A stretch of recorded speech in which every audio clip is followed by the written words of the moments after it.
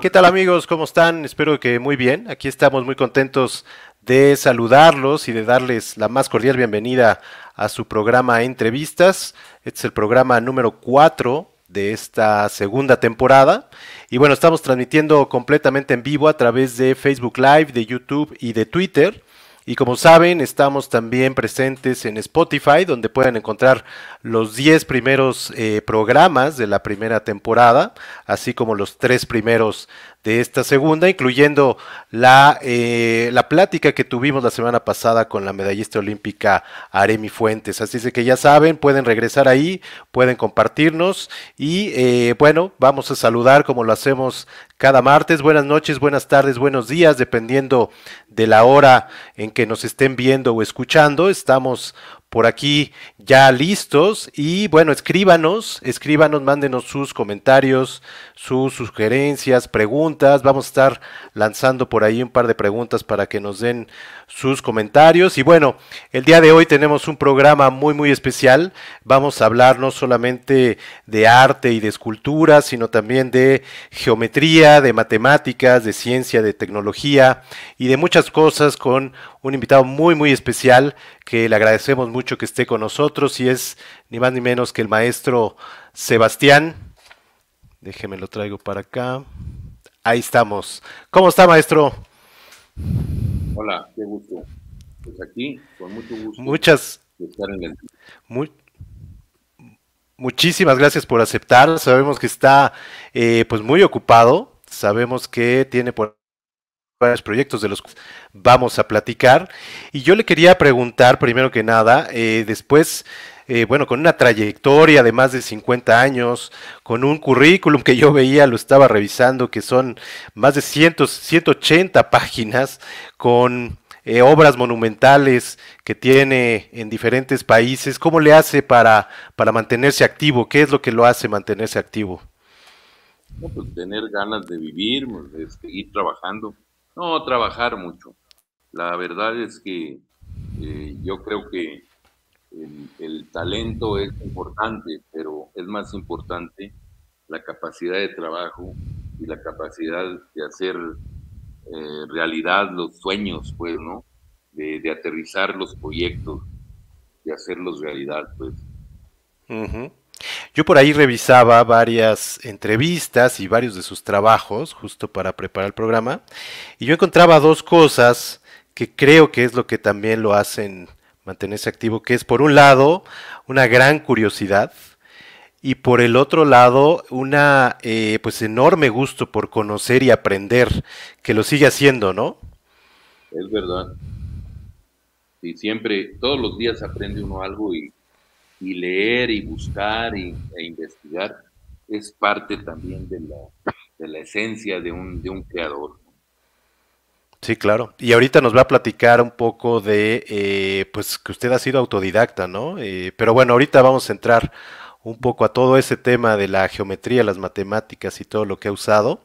Pero yo quería arrancar con un par de preguntas eh, y una de ellas es, pues que ha estado un poquito en la polémica recientemente y es el tema de la escultura de Cristóbal Colón que se removió.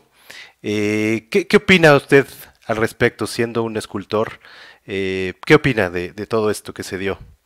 Bueno, yo, yo lo, que, lo que veo es yo respeto mucho a los autores que nos han formado a la tradición escultórica mexicana a través de la historia del arte. y, y, Paseo de la Reforma es un pues es una muestra del desarrollo de la cultura escultórica mexicana en diferentes etapas, en diferentes momentos. Algunos, algunos que no nos parecen, otros que, por ejemplo, eh, Carlos IV pues era eh, el símbolo de la conquista y, el caballito estaba pintando las, las armas prehispánicas, o sea, era lo colonial, este, no nos parece, pero esa escultura es una de las cuatro esculturas más importantes que hay, que se han hecho en la humanidad. Eh, y, y, tenerla y ser nuestra tradición y de lo que hemos aprendido los mexicanos y ser nuestro mestizaje es parte del mestizaje cultural mexicano. Entonces, pues hay que cuidarlo y hay que protegerlo y hay que ponerlo con mucha dignidad en el lugar que se merecía, que es la Plaza Tolzá. Y yo creo que cada una de las esculturas que está en Paseo de la Reforma han marcado una época de la, de la escultura mexicana. Por lo tanto, pues hay que conservarlas. Todas tienen una historia, todas tienen un momento. Es verdad que también lo que significa Colón para, para, para muchos como es, es, es, negativo el asunto, pero la escultura, el diseño de esa, de esa glorieta, la historia de México como símbolo de la, hasta en el cine, en la época de oro del cine mexicano, esa glorieta se volvió ya, debía de ser intocable porque es una joya. Y cada una se va ganando su lugar. La Diana, pues la Diana se ha movido mínimo, pero ahí está, es otro momento también de esa historia. Pueden ser buenas, malas esculturas, pueden ser un... es la historia de nuestra producción histórica y de nuestra mexicana. Y desde ese punto de vista, pues a mí no me parece que lo quiten, que lo quiten de ahí. Está la palmera. En la palmera, la palmera se está secando. Entonces, la palmera podría ser un, un espacio donde podían poner otro monumento de esta época, o, o buscar en la misma, en, en, la reforma es bastante grande, buscar una opción en, en, una de las glorietas de más adelante también para poner otro monumento. Se puede, se puede buscar una transformación eh, urbana, monumental, pero bueno, este es otro, otro asunto. Claro. Esto no es asunto de, de mero urbanismo, ni es asunto de la historia de la escultura mexicana, es un asunto que también lleva un tinte profundo político. Claro. Eso es, es, es, muy complejo. Pero eh, a lo mejor un día dicen que el caballito es pues ya es ya, ya, ya muy pasé, ya pasó de moda, ya no sentido, ya no significa nada. Sin embargo, el caballito se ha cargado semánticamente, poderosamente, de, de la historia del, de México de los últimos tiempos, claro. con, con, todo lo que ha sucedido en ese espacio, al, al pasar el, el, tiempo, se ha cargado de significado y de sentido para los mexicanos. Y luego también hay otra, otra cuestión, pues el caballito no está en una glorieta y el caballito no está en un espacio eh, meramente este, de la ciudad, sino es, es uh, privado, es, es del edificio. Uh -huh. eso, lo protege en cierta manera, es propiedad claro. del edificio, ¿no? Pero pues, todo es muy relativo. ¿no? Claro.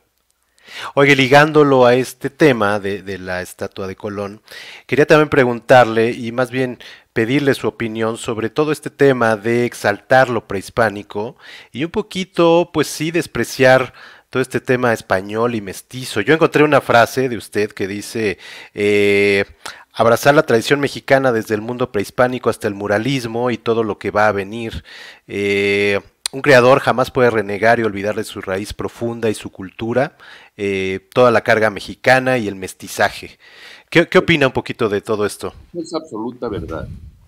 El mestizaje mexicano es uno de los mestizajes más extraordinarios de, del mundo y, y, tiene una carga profunda en lo cultural y en lo racial.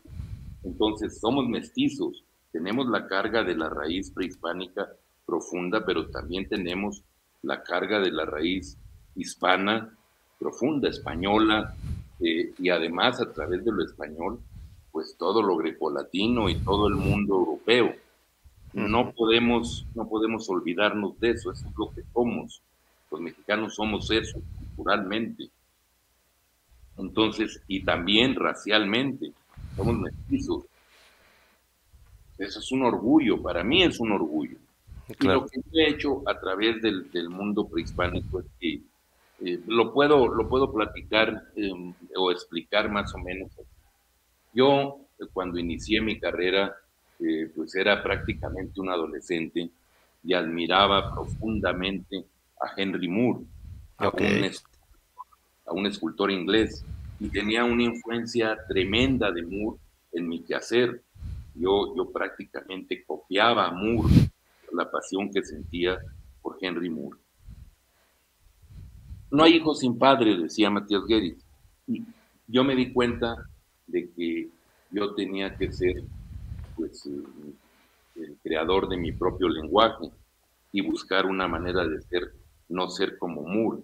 Pero cuando me di cuenta que Moore había vivido mucho del mundo prehispánico, incluso del mexicano, y del chacmol especialmente, me di cuenta que, que, no estaba en el error, que lo que debía de hacer era dejar a Moore y voltear a profundizar en mis raíces, en mis raíces prehispánicas, y luego ver en mi entorno, ver en mi, en mi espacio quién era yo, de dónde venía, por qué estas raíces y cómo estaban dentro de mí y cómo eran parte de mi acervo de, comprensión de lo, de lo escultórico. Cuando, cuando me di cuenta de eso, empecé a trabajar obras con las matemáticas y la geometría. Era con las creo que yo las tenía eh, conmigo, estaban dentro de mí, no las necesitaba ni copiar ni beber, estaban ya dentro de mí. Entonces, eso fue aflorando. Y llegó un momento en que dije, pues voy a hacer una, una exposición de recreos prehispánicos, recreaciones, recreaciones prehispánicas. Tomar a los dioses antiguos, prehispánicos, reinterpretarlos y traerlos hoy otra vez a que sigan siendo los mismos dioses, pero con una representación moderna, sebastina, con la raíz profunda prehispánica. Entonces, eso era como un rescate y de una avanzada escultórica moderna, pero sin, olvidar la raíz profunda de lo que eso significaba. Claro. Un, un chacmol o hacer un, un mascarón de slalo o hacer la diosa de la fertilidad, o hacer una diosa de la fertilidad convertida en Malinche, era como, como recrear mi propia tradición y mi propio origen y mi propia raíz.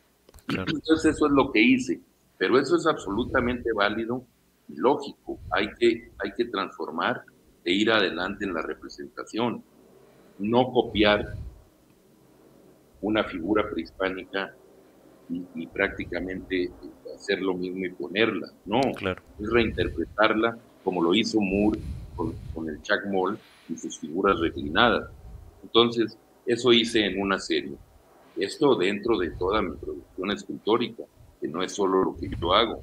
He hecho ya durante 50 años, pues una obra, este, superproducción de obra escultórica eh, este, monumental y, de mediano y pequeño formato.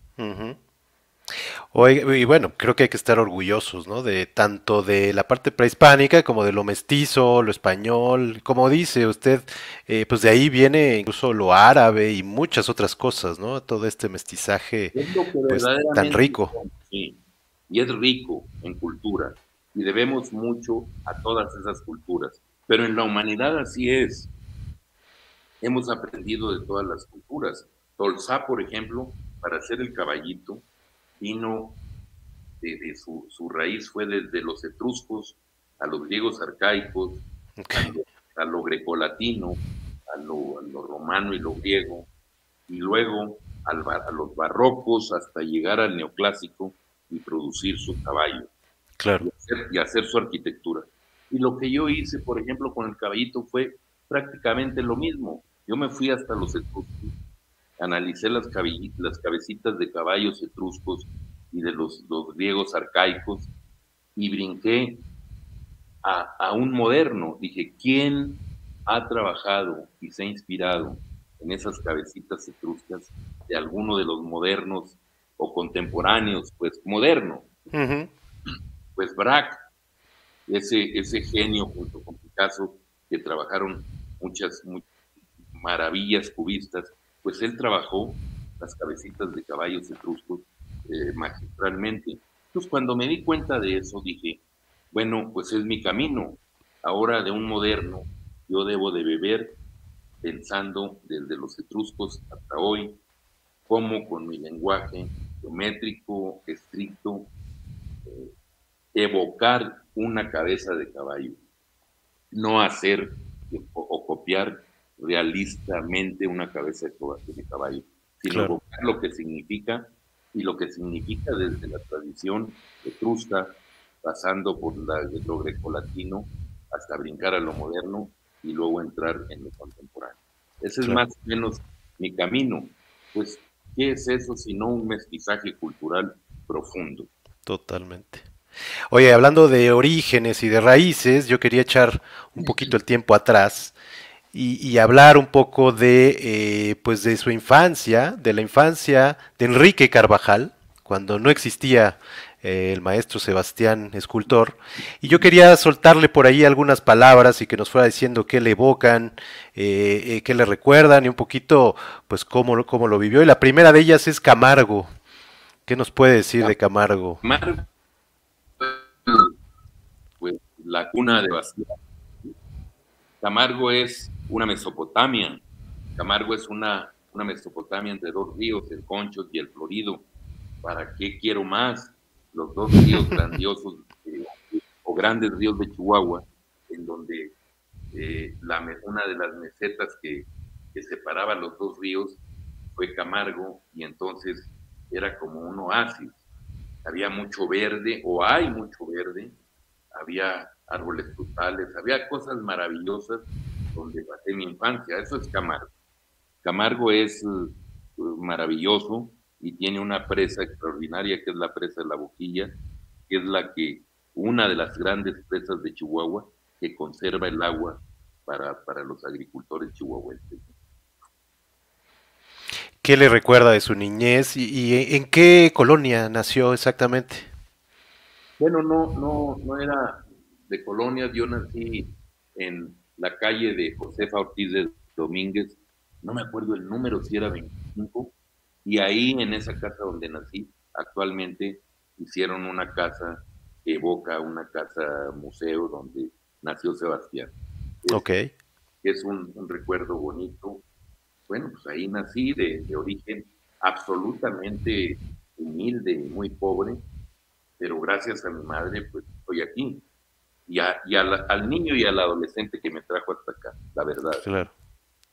Oiga, veía, y usted lo ha comentado en varias eh, otras entrevistas, que eh, pues muchos artistas son de por allá, eh, actores, tenores, bueno, yo tenía aquí una lista, cantantes, Lucha Villa, Aarón Hernán, eh, Leticia Rodríguez Porraz, eh, Socorro Bonilla, María Sorté, Alma Delfina, una actriz joven que se llama Oka Giner, Mario Iván Martínez, también es de por allá. Sí, sí, sí, sí, Roberto Bañuelos, tenor, José Luis Ordóñez, eh, también tenor, eh, exactamente, y muchos más. Eh, yo le quería preguntar, ¿se promueve mucho la cultura o cómo es que se ha dado tanto? No, es el agua. ok. es ahí la fuerza telúrica de, Camargo, de la tierra, ¿no? No, no sé qué sea, no sé qué sea, pero, pero sí es verdad, es como mágico pues ahí nació Siqueiros, ¿no? Exactamente. Eh, pero también, bueno, yo creo que todos los estados tienen su semillero de grandes eh, artistas o, creadores o hombres de cultura. Yo pienso que México es, es primer mundo en cultura y en arte. Yo siento que tiene grandes productores, grande, gran calidad en sus artistas en, a lo largo de la República Mexicana. Eh, si no tenemos este el primer mundo económico, político, social, lo tenemos porque se nos respeta a nivel internacional por, por, lo que, por lo que los mexicanos producen como artistas en todas las disciplinas. ¿eh? Claro.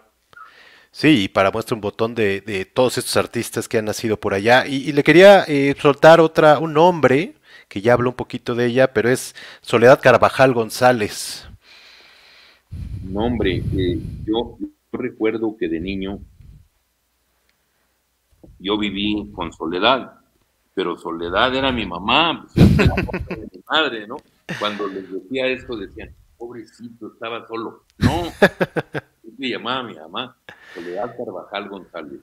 Eh, una mujer que, la verdad no tengo más que, darle las gracias que me enseñó tanto. Me enseñó a pintar flores, me enseñó a pintar al óleo, me enseñó a hacer moldes, me enseñó a, a construir figuras de papel que eran los cuerpos geométricos, me enseñó las flores de papel también, me enseñó a hacerlas. O sea, enseñó tanta cosa maravillosa que es como el motivo para, para seguir adelante dentro de la vocación plástica, y, es una admiración, cómo sabía ella tanta cosa, cómo, en dónde aprendió tantas cosas. Me enseñó otra, a admirar, porque no, en, el momento en que, en que ella trabajaba, me quiso enseñar, pero todo el mundo le decía que no me ella estaba, ella era modista, ella costurera. Costurera, ¿verdad? Muy buena, sí, muy buena para, para hacer vestidos de novia y trajes y cosas, ¿no? Excelente, este, sabía cortar muy bien y, me empezó a enseñar y le dijo, no, no, no, no le enseñes. Y no me enseñó. Ah. Y, y, bueno, yo me quedé frustrado, pero por cuestiones de género, me imagino. Sí, más o menos, digo. digo no tengo nada que ver. Me decía también, le decían allá en, pues, soy de Chihuahua, en la época de lo más este macho que, podía existir, era la época de la revolución, bueno, no la revolución, era el recuerdo de Villa, era, y entonces decía, no, que no vaya a San Carlos también, no entra a la Academia de San Carlos, es muy peligroso, no, no, no lo dejes. yo decía, pues, ¿qué les pasa, no? Total, llegué a San Carlos y aquí estoy, ¿no? Y cuando, cuando yo quise hacer moda, lo hice por un tributo a mi madre, por la ah, qué bien. había hecho, y lo hice con conciencia de hacer una buena, una buena cosa como escultor, diseñando vestidos para quién, pues para las mujeres, ¿no? Que es claro. lo que existe en el universo. Entonces, lo que hice fue, hice varias eh, pasarelas y pues tuve la suerte de conocer a, a Pierre Cardin y, y, me invitó para que hiciéramos una pasarela en, en Spaz Cardán. Y entonces diseñé para esa pasarela y realmente tuvimos, tuvimos mucho éxito. ¿eh? Fue un lleno completo de, del Spaz Cardán, del teatro eh, de, de, Pierre Cardán y el aplauso, de esos aplausos que no terminan, que uno sale otra vez a dar las gracias y que sigue el aplauso. Y no es fácil conseguir eso en París. Entonces, eso me llenó de gusto y de orgullo porque pagué un tributo en homenaje a mi madre en ese momento. Yo dije, bueno, ya cumplí. Yo no, yo no soy un modista, ni, ni es mi pretensión. Yo soy el escultor Sebastián que puede hacer eso y lo que se le ocurra que tenga que ver con las disciplinas constructivas. Okay. Sí. He hecho arquitectura, he hecho pintura, escultura, diseño de, diseño de moda, muebles, diseño industrial, etcétera, ¿no? Entonces, pues eso es una gran ventaja de que la geometría me haya dado para tanto y las materias. Claro.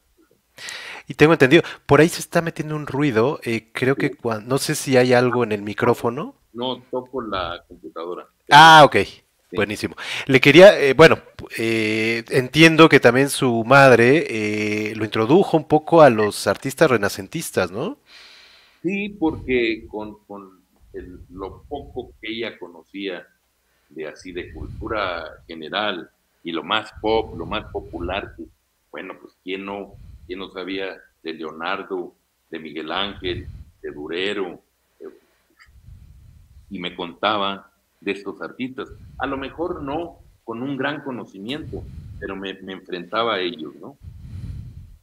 Entonces, eso fue fundamental, pero también fundamental fue mi maestra de inglés, que me enseñó y que me, contó de las grandes escuelas de arte de todos los países, me hablaba de Latinoamérica, eh, cuáles eran las escuelas importantes de arte y que San Carlos era la más importante, que yo debía de pasar por San Carlos como Orozco, como Diego, como Siqueiros. Enriqueta Visconti, ¿no? Se llamaba. Enriqueta Visconti, exactamente. Era uno de los nombres que traía aquí también. Y esto yo me lo creí, ¿eh? Porque dije, la teacher sabe lo que está diciendo. Y todo eso lo tengo que confirmar cuando yo esté en México y cuando empiece a estudiar.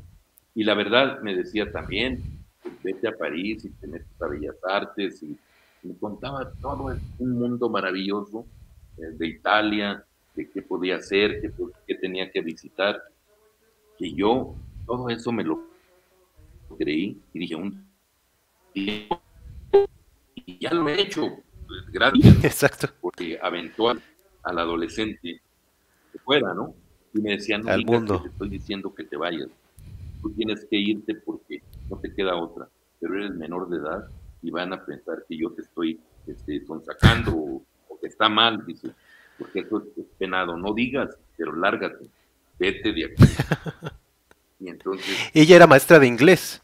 Maestra de inglés, mi maestra de inglés. ¿Pero también le daba cuestiones de arte? No, es que ella me decía, mira, no vengas a mi clase, ponte a dibujar, me daba para los materiales, me ponía a dibujar y a pintar y a hacer pasteles, y pasteles de, de pintura, ¿eh? De pintura, sí. Y, este, y me decía, y tráeme el, lo que hayas hecho y te voy a poner nueve. Ah, caray. Y por eso, por eso yo hablo también inglés, ¿no? Porque nunca, fui a la clase, ¿no? Pero, pero no, fue maravilloso. Ella me metió en la cabeza que me fuera al mundo y que viera todos los museos y todas las exposiciones y que fuera intenso y que trabajara mucho. Yo me la creí, la verdad, era dentro de, de ingenuo adolescente. Claro, eso es lo que yo quiero y es mi vocación y es por donde me debo de ir. ¿Y ella había estudiado algo de arte o era mero...? Ella era Enriqueta Visconti, de familia italiana, evidentemente. Entonces conocía, conocía el mundo, supuestamente había estudiado y sabía mucho de arte, pues, de, historia del arte. Me contaba maravillas, tanto que cuando yo llegué a, a San Carlos, pues le contaba todo lo que había aprendido con ella a mis compañeros y así era como podía comer de repente porque me invitaban o a desayunar o a comer para que les platicara y les contara lo que yo sabía. Y lo, que, y lo que no sabía lo inventaba. Maravilloso. Oiga, otro de los nombres que trae por acá es la abuela Ramona, que entiendo que también influyó mucho en usted, ¿no? Sí, mi abuela Ramona es, lo grandioso del espíritu humano. Mi abuela Ramona era, era grande. Eh, la primera vez que yo, que yo bebí, era, era un adolescente, era muy chiquillo. Este, me fui con otro amigo, nos sacamos en una rifa de estas de feria, nos sacamos una botella y nos la acabamos solos los dos. Ok. Pero en locura, ¿no? Claro, nos, nos, nos tiró.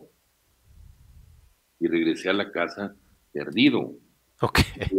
Tendría, 13, 2, no sé, 13 años, 12 años, 13 años. Y mi hermano Ramón, que era como mi padre, que era el mayor, pues estaba indignadísimo y me, me quería hasta, hasta golpear, pues, pegar, ¿no? Y, y, mi abuela Ramona, la recuerdo, todavía la recuerdo profundamente, que le dijo, no, espérate, no, no, no, no, déjalo, que se meta a la cama, tráele un alcacelser, que tome alcacelser y cuídalo, déjalo. Es, me acuerdo que, que dijo, a, su, en su, a su manera de hablar, dijo, es la juventud. le estaba diciendo, es un adolescente, hombre, apenas está saliendo, hay que ayudarlo, ¿no? Claro. Y me dejaron dormir. Yo dije, lo que oí de mi abuela, qué sabia y grande es mi abuela. Este, sabe lo que me pasa, ¿no? Claro. Ya estaba preparándome para, para salirme del pueblo, porque no veía perspectivas ni en mi casa ni en ningún lado, y tampoco quería este, decirles que me mandaran a estudiar, porque a dónde y cómo y con qué. Claro. ¿Ella era de origen tarahumara? Yo creo que, tenía sangre tarahumara porque era morena, era, era guapa en sus facciones, porque era de nariz grande, este, morena, eh, con, traía unos vestidos como en los ranchos, como de menonita. Ok. Sí, y fumaba todo el tiempo. Era maravillosa. Se, fumaba, se ponía a fumar y veía hacia el horizonte. Nadie la molestaba, siempre estaba observando y pensando, yo supongo. Entonces yo la admiraba y la, la veía, siempre quería tratar de representarla, o de pintarla, o de hacerle escultura, ¿no? Y tan así fue que mis primeras figuras con influencia de Moore, hice a mi abuela sentada con esa mirada hacia el infinito. fue una cosa bonita. Desgraciadamente esas piezas las destruí luego, ¿no? Uh. Las destruí porque creo que ya les he contado algo de esto, ¿no? Ok, y bueno, otros dos nombres, los dos últimos, eh, que ya, ya mencionó uno, eh, Raimundo y Ramón Carvajal. Ramón Carvajal fue mi hermano mayor, fue mi maestro de, cuarto y quinto de primaria, fue quien me metió en la cabeza el amor a los libros. Ok. A, a que la cultura era importante, a que yo tenía que formarme y que yo tenía que ser hombre de bien. Él era un maestro rural y por ende era maestro rural en Chihuahua, porque era socialista, definitivamente. Ok. No había de otra, ¿no? Eran esos tiempos. Y entonces, en, en, mi espíritu, pues había mucho de eso a través de mi, de mi hermano. Pero mi hermano Raimundo, que era más, más el de medio, pues, ¿no? Fue el que me enseñó a ser vago, pues, ¿no? A que yo fabricara las a que fuéramos al río, al barranco, a, tirarle a los pajaritos. En ese tiempo pues era, era muy salvaje y, él cantaba los pajaritos con una retortera. A mí me dolía que de repente el pajarito caía, pero eran esos tiempos de, así era, ¿no? Y, todo eso me enseñó a, a hacerlo y a vivirlo, ¿no? Era más la vagancia pero bueno, lo recuerdo con mucho cariño porque también me enseñó, me enseñó una cosa muy primaria, que, incluso es también una verdad. Yo me acuerdo que él tenía este, estas tienditas de abarrotes. Okay. Luego, tuvo, bastante dinero porque puso muchas, ¿no? Pero tenía una tiendita y yo llegaba y le decía, oye, este mundo, ¿me regalas una Coca-Cola? Y me decía cruelmente, no, pero si tienes muchas, regálame una. No. Entonces yo me sentaba ahí abajo de las, donde estaban todas las cocas, las Coca-Colas. Y, por debajo sacaba una y la destapaba con mis dientes, ¿no? Y me la tomaba ahí abajo. Él se daba cuenta, ¿no? Entonces ya la, metía otra vez y me decía, ay, ay, ay, ven. Me la sacaba y la ponía aquí decía, te tomaste una, te robaste una Coca-Cola. ¿Sí? Yo no te la di. Y yo así como, híjole, qué cruel es mi hermano, qué onda, ¿no? Sí. Decía, sacaba varias, y ponía en fila y me decía, mira, ve, cuenta todas esas.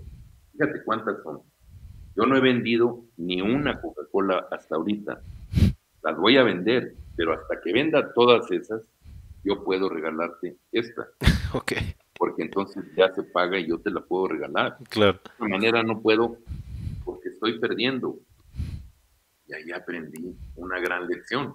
que luego la apliqué con las esculturas. Claro. O sea, era, era para un niño, pero era una gran lección. tienes que esperarte, tener paciencia, vender para sacar para que puedas disfrutar una. Claro. Claro. Y su hermano Ramón, que fue prácticamente su padre, ¿no? Decía. Sí, fue quien, quien hizo cargo de la casa y, este, llevaba todo, la comida y las cosas a la casa, ¿no?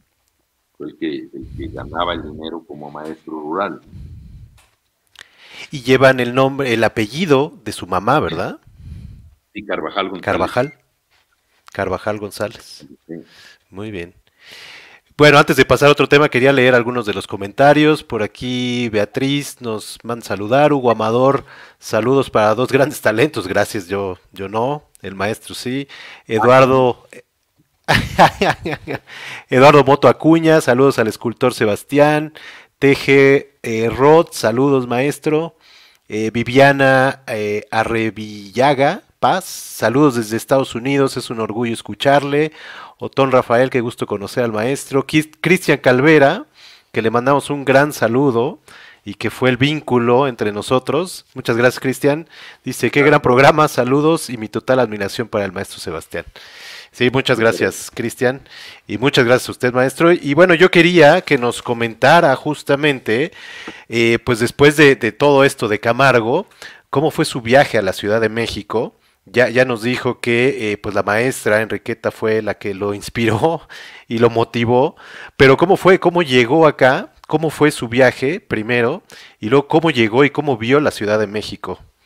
No, pero para, para, para poderme decidir, empecé yo a dibujar. Ok. Hacer dibujos para maestros rurales, para maestros de, de la normal superior. Ok. Que tenían que entregar su material didáctico para que les, les dieran una calificación. Ok. Entonces, yo les hacía todos los dibujos a todos los maestros. ¿Ah, sí? Les cobraba por hacerles los bonches de dibujos didácticos en tinta china y dibujarles para, incluso para los exámenes eh, de, primaria, ¿no? Ok. Y con eso, toda la noche trabajaba en tinta china, dibujando y y rellenando con tinta china y con plumilla. ¿Y dónde aprendió todo esto? ¿Igual autodidacta? No, yo, eso lo aprendí por mi mamá, pues mi mamá me enseñó todo, ¿no? Ok. Y además mi hermano Raimundo también era, era muy buen dibujante. Y mi hermano Raimundo era talabartero. Hizo ok. Entonces dibujaba las becas y las flores y todo esto. O sea, se les daba, pues, ¿no? Ok. Y pero, pero yo te estaba contando mi, sí, sí, sí. historia de cómo me vine. Junté dinero. Ok. Llegué a juntar. Eh, me acuerdo que yo no quería dárselo a mi mamá, ni quería dárselo a mis hermanos, porque ellos no me iban a dejar venir, ni me lo iban a soltar el dinero. Ok. No, pues se va, ¿no? Y entonces, eh, en esa época, pues para mí era mucho dinero, 700 pesos. Ok. Junté 700 pesos pero se los daba a guardar a una secretaria, a, Clarisa Granados, okay. llama, a Clary, se los daba una secretaria de la eh, inspección escolar, de la inspectora. Okay. Y ella decía, oiga, Clary, ¿le puedo encargar este dinero? Y lo fue juntando y un día me dijo, oiga, ya tiene mucho dinero y me da cosa hacerlo yo al banco o haga algo, ¿no? Digo, no, es que ya me voy, ya me voy a, irme a México. Ya lo voy a usar. Digo, ¿para qué quiere tanto dinero para ir a México? Digo, no, pues porque ya me voy a quedar allá, ¿no?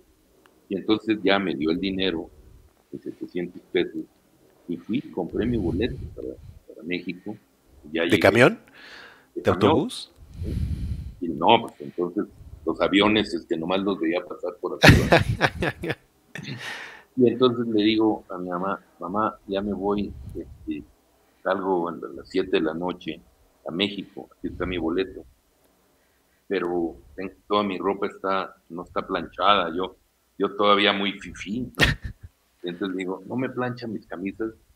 Y me dijo, no, que aventó todo ahí, ¿no? Y bueno, ok, agarré todo y lo metí todo así arrugado, y tapé mi manita y todo, ¿no? Y no, pues fue llorando y la destapó, empezó a planchar todo y ya me regresó. Ah, ¿en serio? De veras te vas a ir, pues aquí está mi boleto, mamá, ya me voy, me voy, yo voy a entrar a San Carlos. Acuérdense que le dije que yo iba a ser un gran artista, acuérdense que tengo que trabajar. Ya le había dicho. Sí, dice, yo sé, yo te creo, pero no, no te vayas, y total, ¿no? Y fue y le dijo a mi hermano, no, mi hermano hizo un escándalo y me registró y no sé qué. Y le digo, pues no me pueden detener. Ya está mi boleto. No soy mayor de edad, pero no me pueden detener, yo ya me voy. ¿Cuántos años tenía? 16, ¿no? Tenía 16 años.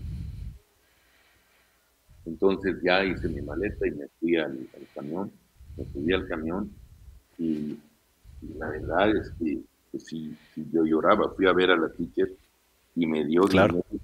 me dio más dinero para mi boleto. ¿Ah, sí? Pero yo ya tenía mi boleto, el dinero lo, lo metí en el dinero que llevaba. Y, me acuerdo mucho de una canción que sonaba mucho en esa época, que era La Media Vuelta. Ok. Y, me hacía lo que decía la canción, que no tenía nada que ver con, con, con mi vida, pues, pero que decía entonces yo daré la media vuelta y miré con el sol cuando muera la tarde. Cuando muera me parecía maravilloso porque yo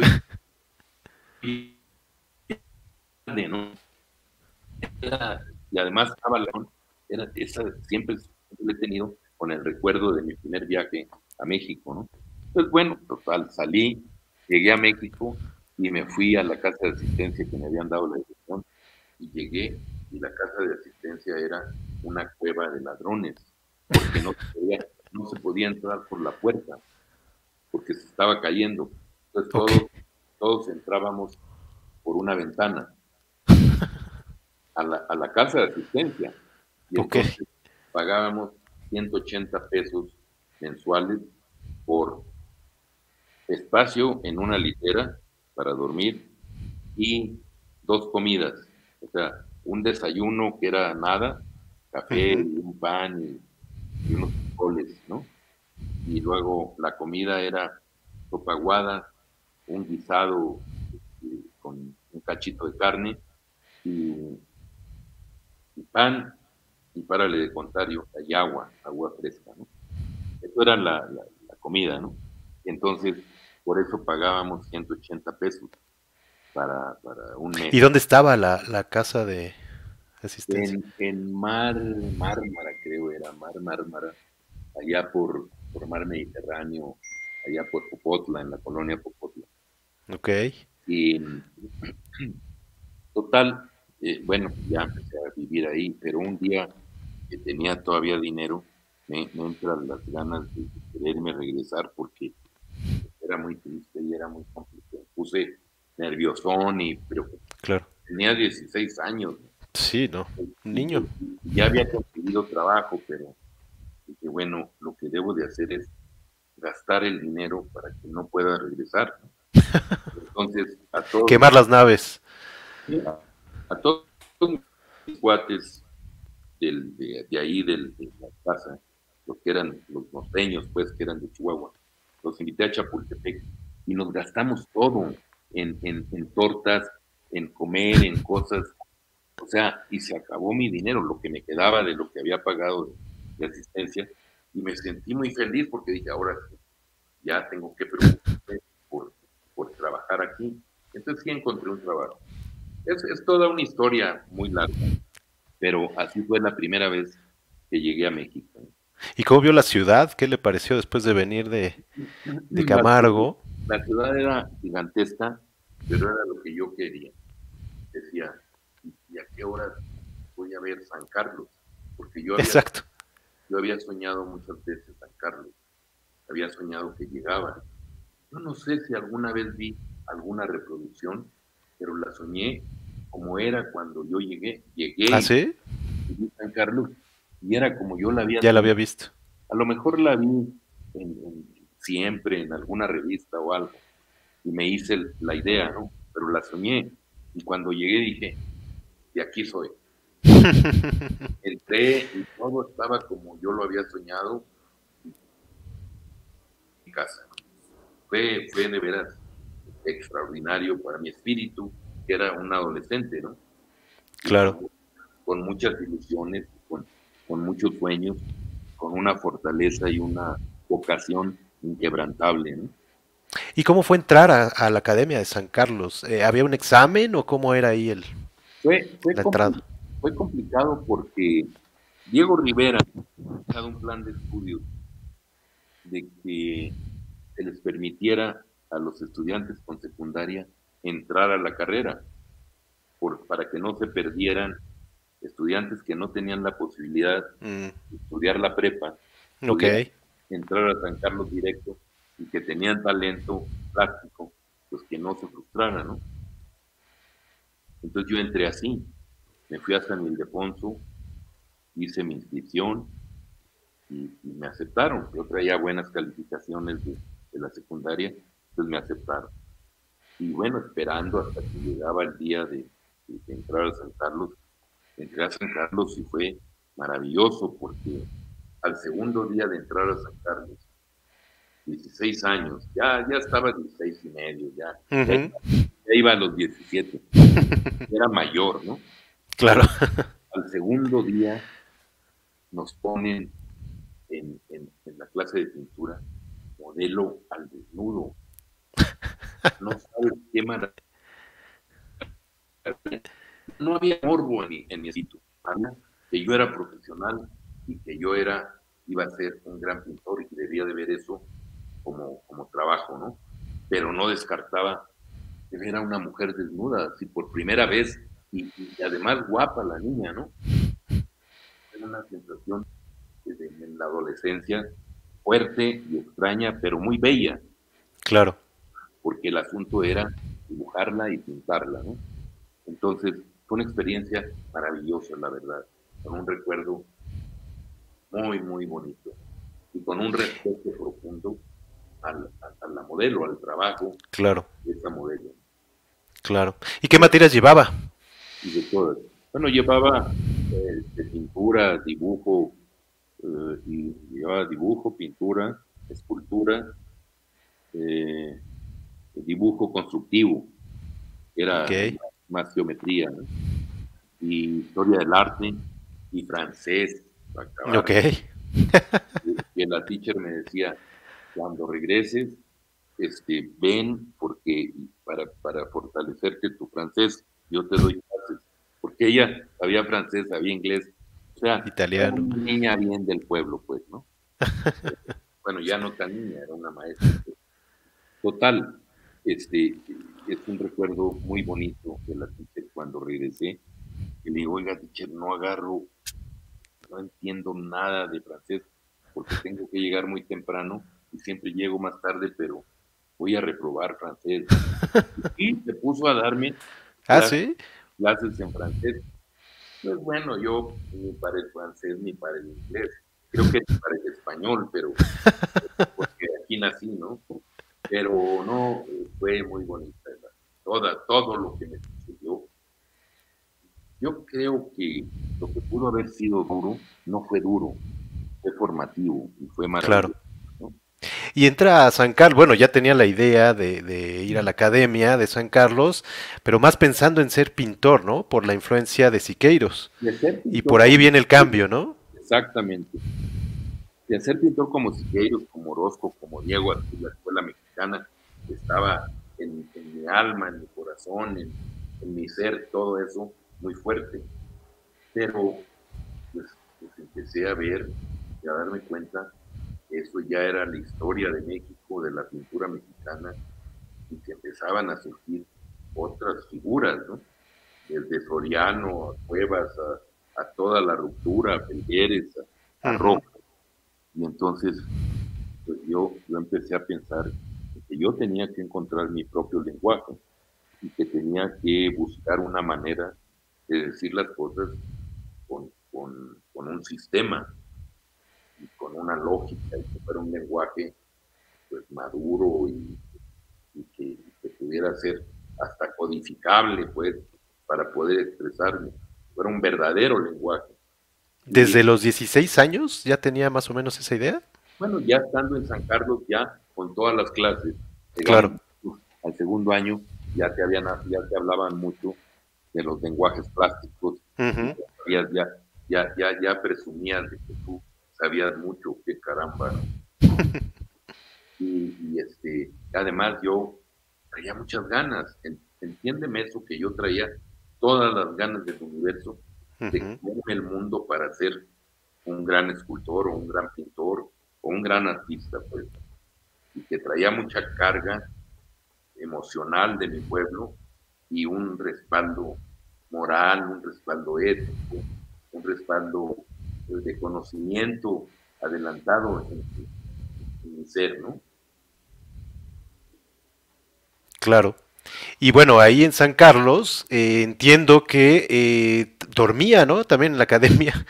Ah, este... es otra, todavía es otro, otro capítulo de la historia de vida.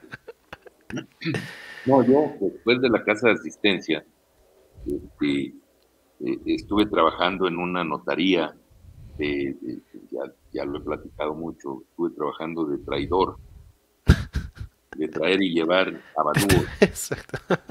Entonces, este, pues la estaba pasando e iba a San Carlos y ahí le iba pasando. Y un día me golpea el elevador. Yo estoy operado del corazón. Ah. A mí me habían operado a los 14 años. Ok siempre estaba como temeroso, me da miedo, pues, ¿no?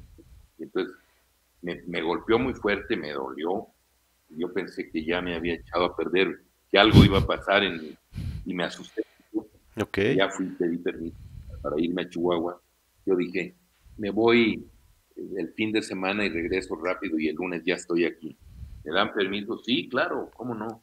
Es que voy a checarme. Entonces me fui me chequé a Chihuahua, me fui directo, fui con el, con el médico, me chequé, si estás loco, estás más sano, este, no, pasa nada, tú ya te has operado y ya estás bien, muy bien, son dos años, ¿no?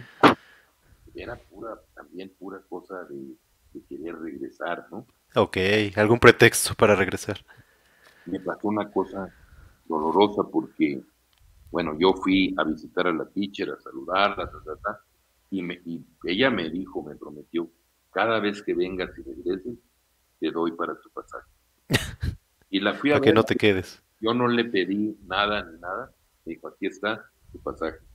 Bueno, mi pasaje, ok. Entonces no, no sufría por eso, ¿no? Por mi pasaje. Pero las lluvias en, en, Chihuahua, en esa, bueno, en todas las épocas, pero en esa época no había carreteras bien armadas, ni varos eh, altos, eh, o sea, venía una inundación y se llenaba todo y no podían pasar los camiones, ¿no? Ok. Pues que vino la lluvia en esa semana que yo fui, ese fin de semana, y que se vienen las inundaciones y no se podía pasar en una semana los, camiones de Chihuahua para, para México, ¿no? Entonces, ¿qué hago? Y, pues hablar por teléfono, pues, no, o sea, dice, no, pues le explico al, este, licenciado, le explico qué pasó y que cuando llegue, yo me hacía todo el rollo, ¿no? Entonces me fui ya una semana después y llegué tarde al trabajo y llegué a buscar al, licenciado para explicarle. No sabes, fue mi primer, mi primer gran, así golpe doloroso de incomprensión y de... Claro. Jamás, jamás un adulto me había tratado tan mal. Ok. Me había tratado como, casi como animal. Me quería patear y me corrió. Y ah, me Del, espacio. Me dijo, salte, eres un vago, eres... Pero no me dejó que le explicara. No me dejó hablar. Y entonces salí humillado y todo. Me sentí muy mal, pero corrido. Ya no estaba en el trabajo me salí por insurgentes, allá por Sullivan, me salí, la verdad, llorando sin llorar, se me salían las lágrimas, porque decía, pero no me dejó que le explicara, yo no soy una mala persona, no soy un vago, no soy, o sea, no me dejó Pasó esto de las lluvias, ¿no? Pasó, sí, y no, no me lo iba a creer, pues, ¿no? Total, me fui caminando y y, es un recuerdo muy bonito que tengo que ya que llegué a lo que antes era Puente de Alvarado, este, es, nótese, ahora es este, la Gran Tenochtitlan, ¿no? sí. Sí, es que así se llama. Sí, sí, sí. Y entonces llegué ahí y ya se me había olvidado, ya las lágrimas ya no estaban, y me cuelgo de un tranvía, eso no se me olvida, porque yo me colgaba detrás de los tranvías para no pagar, porque así era como estaba, ¿no? Para no gastar. Pues ya me lleva hasta, hasta este mar Mediterráneo, ya me bajo y me voy todo deprimido, y estaban mis amigos allá afuera, me acuerdo que tomaban leche con, con, este, este con pan dulce, con, con conchas, allá en les decimos esponjas, y, y, plátano, eso era lo que estaban comiendo, y me ofrecían, y digo, no, gracias, este, ¿qué te pasa? No, pues ya me corrieron, ya no, ya no tengo trabajo. Me dicen, ¿quieres trabajar? No, claro que quiero trabajar. vente con nosotros porque ya vamos a entrar en un turno. Y llegas y te dan trabajo seguro, ¿no? bueno, pues vamos. Y entré y pedí el trabajo. Y sí, me dice el chef, en, el primer que hubo en la Ciudad de México, allá en, Lomas de Sotelo. Era el primero que, habían puesto, ¿no? Pues era de moda el, el Vips, el restaurante. Y entro y me dice el chef, ¿cuántos años tienes? Digo, 18 años. Ah, ok, se puede trabajar. Como, tenía estatura, parecía más grande. Tenía que 17 ya por ahí. Sí. Y este, entonces. Y lo llené todo, ¿no? Y ya se lo doy. Y en la parte de inglés decía, se pone este, bien, este, regular, o nada, y le puse pues, regular, ¿no? Entonces ya se lo entrego y ya lo ve todo y empieza a hablarme en inglés. Ah, caray. yo lo volteaba a ver así como, ¿qué le, pasa a este cuate? Pues no le entiendo nada, ¿no? Y me decía, no estás mentiroso, no hablas ni papa de inglés, ¿no? Digo, es que quiero trabajar. Y le caí bien, ¿no? Me dice, ok, ok, Me dio el dinero para que me comprara corbatita de moño. Claro. Mi camisa blanca, mi pantalón azul oscuro, y me dijo, y boleate tus zapatos. A ver, ve ahí a Urrera, compra esto y ya te vienes a trabajar. Y así fue. Volví inmediatamente después de que me corría ese hombre. ya tenía trabajo. Ya tenía trabajo, eso es, es el destino. O sea, así es, ¿no? Parte de la historia de mi vida, pues, ¿no? Sí, claro. Pasaron muchas cosas muy bonitas para, para, mi, para mi carrera y para, para todo, pero ahí en el, en el TIPS este, traje muchos muchachos de Chihuahua que, ¿Ah, sí? a, que trabajaran ahí, yo los ayudaba, les pagaba su pasaje. A los que no tenían recursos para estudiar, desde a México, trabaja y estudias, ¿no? Sí, yo me voy, yo te doy el dinero, toma tu pasaje, vende y luego ya que trabajes me lo pagues. Y así llegamos cerca de 50 chihuahuenses en, una, en una casa de asistencia. O sea, que era maravilloso. Me volví líder, pues. Exacto. Totalmente. Oiga, y ahí justo en la Academia de San Carlos nace Sebastián, ¿no? ¿Cómo nace Sebastián? Pues Sebastián nace también de, como yo, yo dormía ahí y comía mal, pues no, no dormía bien ni comía bien, porque me la pasaba trabajando en la noche. Y entonces en la, en la clase de escultura me quedé dormido y mi maestro de, escultura, Alberto de la Vega, dijo, espérense, vengan. Y empezó a dar una clase sobre San Sebastián de Botticelli. Y yo dormido, tirado así. Y todo el mundo ha de pensar o piensa, así muy, muy bonito, muy guapo, ¿no? No, era por la belleza, ¿no? Era por lo amolado que yo estaba, porque estaba mi cuerpo, mi cuerpo estaba este, cansado, demacrado, mal comido, descolorido, pues yo, y mis músculos cansados y sueltos, ¿no? Y entonces empezó a hablar de anatomía del cuerpo humano cuando está así, en deterioradón, pues. Y, este, y yo desperté y se rieron todos, estaban viendo. Yo sentí que era un bullying así horrible, ¿no? Claro.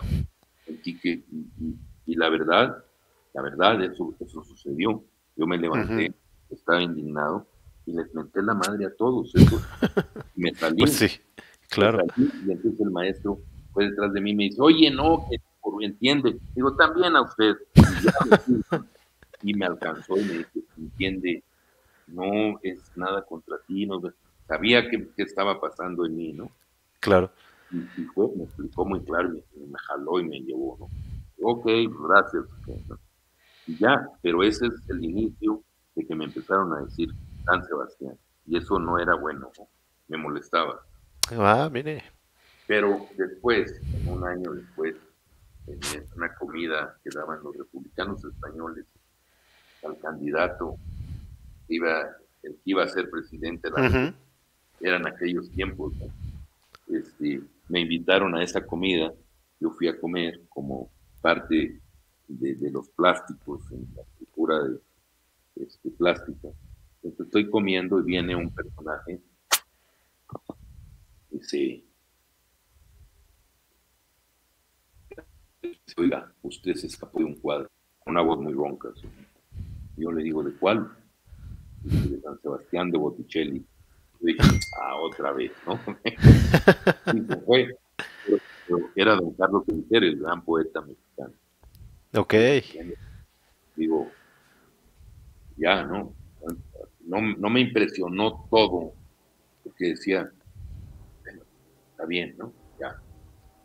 Pero pasaron como ocho meses después y viene una crítico de arte que era francesa guatemalteca, Edith de Pura, se llamaba, y me hizo una entrevista. Ok. Y como me conoció en Bellas Artes, ahí, ahí nos citamos para en una exposición, y este, ahí me conoció y empieza a narrar cómo era yo físicamente. Y dice, un joven mexicano, y, aquí abajo pone que se asemeja a un San Sebastián de Manteña. Ahí sí ya me preocupé porque yo sentí que el día dije eso, eso tiene un significado, tiene un sentido, es, mi vida, es, es algo que me ha pasado tres veces, no lo puedo dejar, tengo que pensarlo, lo pensé, dije, ¿qué tal si me cambio el nombre? Es poderoso, fuerte, contundente, bella la palabra como tipografía. En En mercadotecnia funciona por el recuerdo, por la, relación de la carga que tiene este, a través de la historia del arte. Se pronuncia prácticamente casi igual en todos los idiomas. Entonces era un nombre muy internacional. Lo tomo. Ahora le falta el apellido. Y bueno, pasaron tiempos y dije, bueno, pues es natural que sea Sebastián escultor, pero si, si veo toda la tipografía parece que dice escultor Sebastián en inglés, porque la palabra mm. escultor en inglés y en español son sueños. Te parece, claro. Entonces, cuando se ve a primera vista, como tipografía, uno lee rápido, uno lee escultor Sebastián en inglés. En inglés no tiene acento, entonces este funciona para imagen rápida internacional. Pues. ¿Ya pensaba usted en internacionalizarse? Ah, pues, ¿Cómo no? Si le dije a mi, mamá se lo dije y le tenía que cumplir. Y, y bueno, sí le cumplí, ¿eh? Sí, no, ya sé. Y bueno, ahí eh, empieza todo. Y, cuando nace Sebastián ya estaba con el tema de la escultura, obviamente. ¿Cuándo fue ese cambio de pintura a escultura? A propósito, ayer, más bien hoy, hoy, hoy, en la mañana, nació el verdadero Sebastián, el auténtico, mi nieto. ¿Ah, sí? ese sí es día de veras. Ese sí es día de veras. estoy inventado, el otro sí se va a llamar así.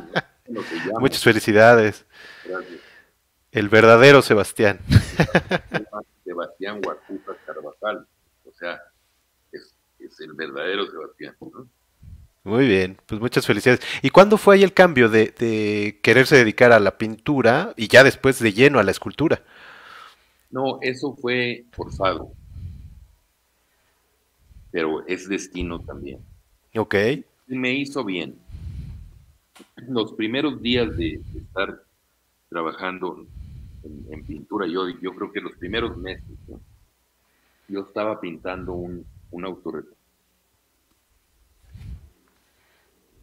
Con mi paleta y pintando el autorretrato.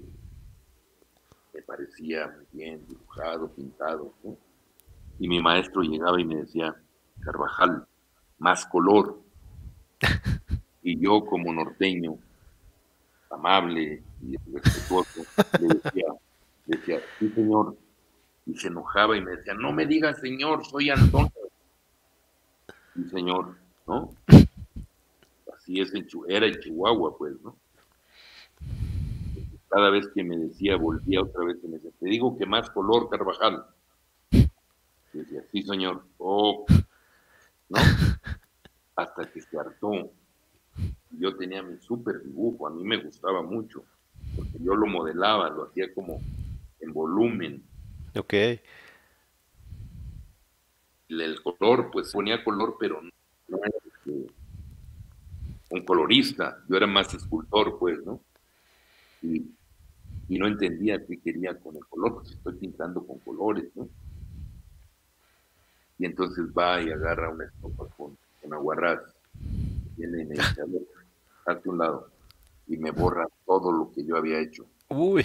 Y me dice, ahora sí empieza, más color. Yo cerré mi, mi estuche, este, agarré mis pinceles, agarré todo, agarré el bastidor y me fui. Y me fui al taller de pintura. Y nunca más regresé a la clase de pintura. Ah, ¿en serio? Ya no regresé, me quedé todo, porque yo podía, demostrando pagar este, si, si la hacía en escultura, me valía para la clase de pintura, porque como era, era encontrar vocación, Entonces me metí a escultura y aquí estoy como escultor Sebastián, también después, como yo tenía el, complejo de, de, no haber estudiado la pintura en San Carlos, este, lo estudié por mi propia, a qué se refería mi maestro cuando me decía más color, más, color. Y entonces entendí que la, la pintura es dos dimensiones y fundamentalmente es color. Y la escultura es tres o más dimensiones, o cuatro o n dimensiones, pero es monocroma y si está pintada es escultopintura, como la de Siqueiro está pintada de colores. Entonces yo decidí ser escultor y que mi escultura sea monocroma en una línea y, policromada en los transformables. Otra línea, Pero empecé a pintar utilizando el color como parte fundamental para, para las dos dimensiones y para decir las cosas, ¿no? Y entonces pinté y pinté y pinté, pero muy para mí, ¿sí? En secreto. Ok. Porque yo no era pintor, ¿no? Y yo guardaba mis cosas. Y un buen día, ya que, ya que tenía cierto éxito en Japón, pues entro a una bienal de pintura a Japón. Y que gano la medalla de oro, ah, ¿en serio? el primer lugar de la Bienal. En ese momento dije, uff, también soy pintor, ¿no? y luego después en otra Bienal entré y gano la medalla de plata. Dije, no, está más que demostrado. Así es que también pinto, ¿no? Esa es la historia. Ok. Oiga, y eh, bueno, a partir de ahí, eh, toda esta parte de de San Carlos. Me imagino que ahí esculpía de manera tradicional, todavía no entraba a, lo que era su, su sello. Bueno, en San Carlos también fue esto del, del, del autorretrato. Yo tuve una, una marca de destino también ahí, porque cuando estaba pintando mi autorretrato en el momento antes de que me lo borraran, pasaban fotógrafos que iban a cubrir de cultura alguna cosa para una nota en el periódico. Y pasó sacando fotos todos los talleres. Y yo estaba, no me di cuenta, yo estaba pintando y yo vi que estaba sacando fotos. Y me agarró pintando con mi cara. Se veía que era mi autorretrato. Bueno, al otro día yo vengo a sacarlo ya en la mañanita a la escuela y veo los periódicos y había, nunca, nunca recuerdo si era el, sol o el heraldo. Ok. Era el sol. En la, en la primera plana, una foto grande de Sebastián pintando. Yo dije, soy yo. Y me acerqué y leí. Y, y en ningún momento decía mi nombre, porque no me preguntaron, ¿no? Claro. Era yo, era la señal. Yo dije, ese día compré el periódico y dije, ah, eso, desde hoy.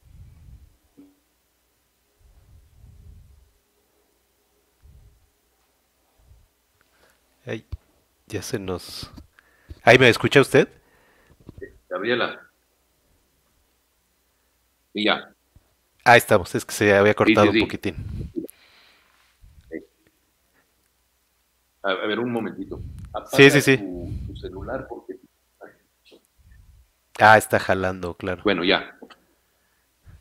Entonces vio el periódico, ahí nos quedamos, de que vio el periódico, lo compró y luego... Dije, pues ya, de aquí soy, es mi primera foto en el periódico y de aquí nadie me baja. Aquí empecé Y esa foto existe y después existen todas las demás. O sea, todo lo que vino después está después de esa foto, cuando ya decía mi nombre, ¿no? Ya estaba con Rojo, con Felgueres, con Cuevas, con todos ellos exhibiendo, en, alternando, pues, al tú por tú, y aparecía en los carteles y en las fotos. Y eso era maravilloso. Claro.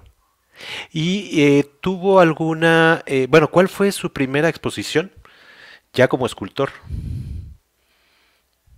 Como escultor fue en, Ciudad Juárez. La primera exposición ya, ya seria de escultura fue en Ciudad Juárez, en el Museo de Ciudad Juárez, en la época de las Olimpiadas Populares, en 68. ¿Se oye? Ahí ya, ahí, ahí, ahí ya se oye. Sí se oye. Sí, sí, sí, perfecto. ¿Tu, ¿Tu, celular? ¿Ya? Ok, ya. ¿Qué me Ok. Sí, ahí lo escucho perfecto. Me decía de, de su primera este, exposición en, en, Ciudad Juárez. Sí, en, Ciudad Juárez, en, los, en las eh, Olimpiadas Culturales del 68 en la época de las Olimpiadas. Eso me ayudó mucho para que no me consignaran el poder salir del campo militar número uno, porque yo estuve detenido en la época del... Sí, es lo que sabía.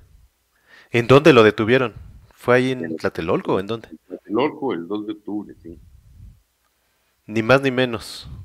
Así es. Vivió todo el, el caos de ahí.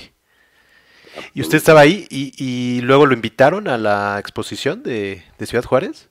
No, no, no, antes. Oh, antes, había sido en la, en la exposición que eran lo que empezaba a hacer. Se abrió la exposición para ser como parte de las Olimpiadas Culturales en Chihuahua y entonces estuviera todo el tiempo, porque ya venían las Olimpiadas. Ok. Oiga, maestro, y platíqueme, eh, ¿cuándo entran, cuándo viene la fascinación y, cuándo entran las matemáticas y la geometría en su obra? Bueno, porque entiendo que ha sido básica, ¿no? Para usted. Eso es desde niño, ¿eh? desde, el principio. Desde la secundaria yo ya estaba prendido en las matemáticas y en la geometría, pero desde niño, yo tengo, desde que me acuerde, y aprendí a armar los, cinco cuerpos regulares en cuarto año de primaria, me fascinaron. Y dije, aquí hay todo un misterio y aquí hay todo lo que, yo puedo ser, porque adentro, dentro está todo, ¿no? Y, sí, fue verdad, ¿no? Yo seguí analizándolos, trabajándolos, y se dieron los, transformables. Los transformables son, en esencia, los cinco cuerpos regulares, los cinco sólidos platónicos. ¿Y eso fue de lo primero que hizo, los transformables? Es de lo primero que hice en, en, los, en los que serían 67, 68. Finales de los 60. Hasta 73. ¿Y cómo surge? Bueno, surge de todo esto que nos dice. Eh, y por ahí creo que tiene uno, ¿no? A la mano. A ver, sí, sí es cierto. Es que ya se me había olvidado que, que dije que iba a tener uno de esos. Retirarlo un poco. A ver, sí. Hay más ¿Cómo nace? Sí, eh, ¿Cómo viene la idea y, viene de alguna cuestión matemática? ¿Usted lo... En cuestión matemática lo... Los, cuerpos, los cinco cuerpos regulares, para hacerlos transformables, tienen, tienen tres componentes tienen matricas, geometría y tienen la cinta de Mobius dentro de la topología. Está, está contenido aquí en esta en, este cubo y en todos los demás, el sistema regular de la cristalografía, los planos y ejes de simetría.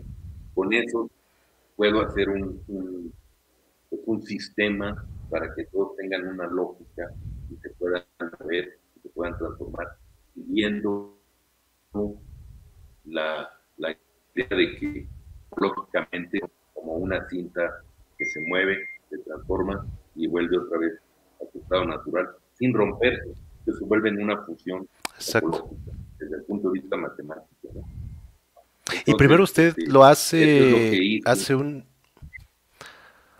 hace algo en papel o cómo lo, cómo lo hace todo este, lo primero que hace. no, si yo estudio los cinco, eh, el sistema regular de la cristalografía, que son ejes y planos de simetría, todo todos están contenidos dentro del cubo o dentro de la esfera o dentro de todos los cuerpos, los cinco regulares. Ahí esos ejes siguen trabajando y siguen, siguen presentes sin que se vean, pues están. Y si uno los aprende y los conoce, los puede utilizar para cortar, para, para hacer la estrategia de cortes y dobleces. Entonces, es lo que yo empecé a hacer. Y luego los pego todos, los pegué todos como una cinta de Mobius, que, no se rompiera, pero que se pudiera mover y se transformara en muchas, en muchas posibilidades, como esto, ¿no? Y entonces el color se vuelve en un agente ilusorio de esta transformación. ¿Este qué nombre tiene? Este se llama Durero 4 ¿Es el de Durero? Es el de Durero. Es, es que donde yo aprendí geometría euclidiana fue con unas lecciones de Durero del Renacimiento alemán. hizo, hizo una, un libro para las lecciones de sus alumnos que se llama Lecciones de Geometría de, Albert Dürer. Y es donde ¿Qué es donde tiene sus postulados, los básicos estos de la línea y el punto y todo eso? y de ahí pasó a... De ahí, de ahí me di cuenta que Euclides pues había permanecido dos mil años como, como el, dios de la geometría de todos los tiempos. Claro. Pero también me di cuenta que estudiando Euclides uno puede llegar a la, a la geometría no euclidiana por los que estudiaron Euclides y luego trataron de demostrarlo en sus rectas paralelas. y no pudiendo, no pudiendo demostrarlo, hicieron una nueva geometría, una geometría imaginaria, que es la geometría topológica, que es la geometría eh, de Gauss, de, de o de, o, de Lobachevsky, ¿no? Que es con la que ya se puede eh, pensar en de tres dimensiones entrar a cuatro o cinco o n dimensiones, ¿no? ¿Y qué material ocupa para estos transformables? Estos están hechos en plástico, en plástico inyectado. Están pues, ¿no? Yo los diseño, diseño el molde y luego ya se hace el, modelo en plástico, la máquina. Se inyecta, pues, ¿no? Es como magia. Así es, todos, todos caben siempre.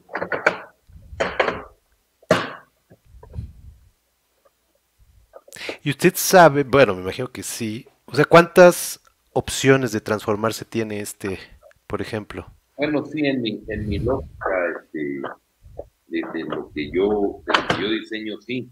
Pero como es, como en todos los ángulos están 360 grados, siempre pueden ser diferentes combinaciones y diferentes posibilidades, dependiendo de qué ángulo se ve. ¿no? Claro. Entonces puede, puede ser que algunas ni siquiera las haya podido ver yo. o, o, yo crea que ya las vi todas, las intuyo, pero pues... Claro. La geometría es muy lógica, también es, es misteriosa y es compleja. ¿no? no, bueno, totalmente. ¿Y de todo esto ha sido autodidacta? Bueno, sí, lo he estudiado yo solo, pues. Y luego, eh, toda esta parte, entrando a lo que es la obra monumental, ¿cuándo es que empieza? ¿Cuál, cuál fue su primera obra monumental? bueno, hay varias cosas. Tengo una en Denver, fue una de las primeras en, en Steel Boulevard, downtown este, Denver. Esa, esa pieza eh, fue una de las primeras que yo hice, y son tres piezas. Una tiene 10 metros y, van bajando de, tamaño. es la misma pieza transformada. Esa fue la primera. Pero eh, yo empecé a hacer escultura monumental después de, de salir de, de la cárcel, pues, de, el campo militar número uno. En el 68, después del 2 de octubre. ¿Cuánto tiempo estuvo en la cárcel? Pues la verdad ni quiero recordar ni me acuerdo. Eh, fue muy traumante el asunto y yo decidí en el momento en que saliera de ahí, si salía vivo, porque había muchos riesgos, si salía vivo, me prometí a mí dedicarme única y exclusiva a la producción de toda mi obra y desde entonces no he parado y lo he hecho. Hay mucha obra y muchas veces me critican porque, porque es demasiada obra. Bueno, así soy, como, como dice, le digo a mi nieta, oye, este, Mica, ¿por qué estás tan bonita? ¿Cómo le haces? ¿Cómo le haces para estar tan bonita? dice, abuelo, así nací y así amanezco. Digo, se amanezco. Entonces, pues así, así nací y así Hago, trabajo mucho. Este, pero ¿en qué estábamos? En sus primeras obras monumentales. O sea, en San, Carlos se encuentra todo este, pues su código que le llama usted Sebastino, y a partir de ahí ya empieza a hacer, me imagino, esculturas eh, no tan grandes, y después viene lo monumental, ¿no? Me imagino. Ah, ya no sé si me escuchó. Ah, ya está aquí. Ahí ya. No, no, están apagados. Ya. Sí, está como intermitente la, red, pero... No sé si me escuchó un poquito la, la pregunta. No, no, no entiendo que en San Carlos se encuentra eh, su código sebastino y ahí empieza, me imagino, a desarrollar obra eh, no tan grande y después viene lo monumental, ¿no? Sí, eh, lo que pasa es que no había concluido lo, de cómo llegué a la monumental, pero ok, en, en San Carlos empiezo a trabajar cosas de metal, pero todavía no, no tan, tan estrictamente abstractas, porque había mucha influencia de lo, de lo informal y de lo orgánico con Moore y con Picasso.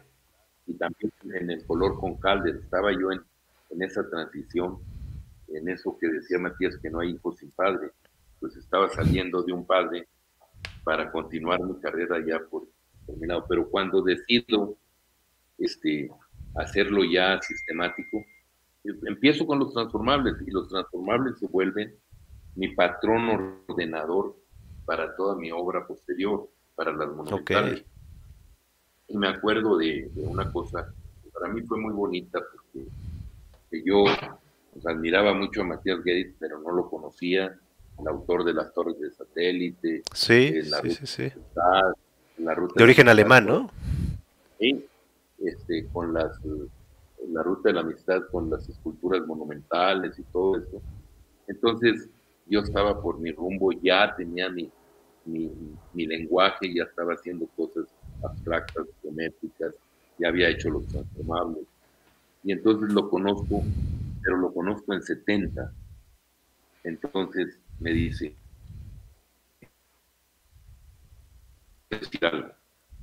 si yo lo he conocido a usted en 68, usted tendría una escultura en la ruta de la mitad. Quiero más, con eso fue maravilloso. No, bueno, Un claro. muy bonito, ¿no? Y bueno, ya, qué padre, ¿no? Digo, bueno. Pues, y ahora comparte espacio con él en el espacio escultórico, ¿no? Sí, porque, bueno. Sí, ¿verdad? Eh, yo, sí, sí, sí. Somos los seis que, que armamos el espacio escultórico. Y ahí con él yo, yo fui asistente por 22 años y, bueno, él significó casi como mi padre. Mi, hijo se llama Matías, en honor a Matías Guedes. Entonces es una, una, historia de vida muy, me ayudó mucho, más que enseñar, enseñarme cosas de tipo, de tipo plástico, me enseñó cosas más, más allá de, de la vida, de lo profundo, me enseñó también cosas de eh, me enseñó a cómo negociar mi propia obra y cómo, cómo, cómo producir y mantener mi escultura monumental. O sea, enseñó cosas que no, no fácilmente se enseñan, pues, ¿no? Claro. Y entonces da el paso a lo monumental. ¿Y esta fue la, la de Denver fue la primera? La de Denver fue la primera y luego... ¿Y cómo fue que se la pidieron o...? Es que yo, yo, yo estaba exhibiendo en Denver y ya tenía yo tres años exhibiendo en Denver como, como Sebastián, ¿no? Ok. Pero no, pero yo no ponía de dónde era, no tenía mi currículum, nada más Sebastián, punto. Y, y, empecé a tener coleccionistas en tres años, ya había gente que me compraba para, para la Unión Americana, que se iban las obras a un lado, a otro, porque ahí está, la zona en Denver es muy buena, porque van a Aspen y van a Bale y van a esquiar, entonces exhibir ahí era un buen punto. Y me, iba, me iba bien y empecé a vender para la Unión Americana, pero creían que yo era o español o italiano, porque pues, no aparecía, nada más aparecía la obra, Sebastián,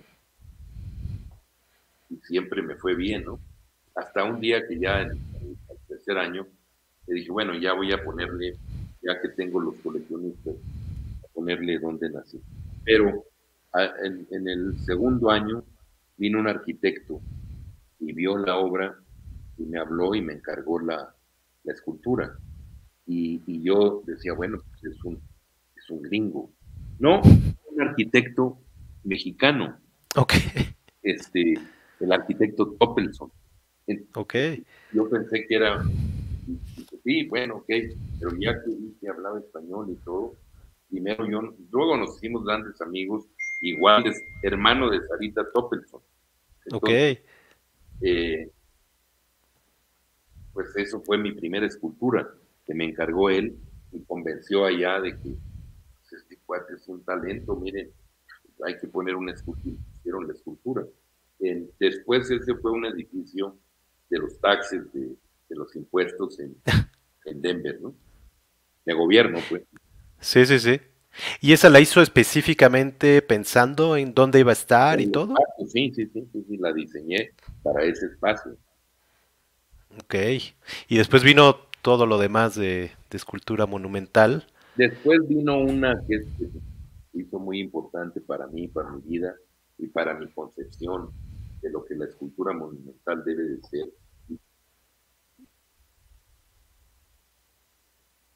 La, Puerta de Monterrey es, es, un gran logro que yo había hecho ya, que ya tenía el diseño. Y, este, Martínez Domínguez, el gobernador, cuando estaba de gobernador, fue quien la donó Generoso Villarreal y, la aceptó Martínez Domínguez. Entonces, pues se hizo gracias a, esa gestión. Ok. Y bueno, una de sus obras más famosas, El Caballito, esa eh, viene tiempo después. Platíquenos un poquito cuál fue la historia.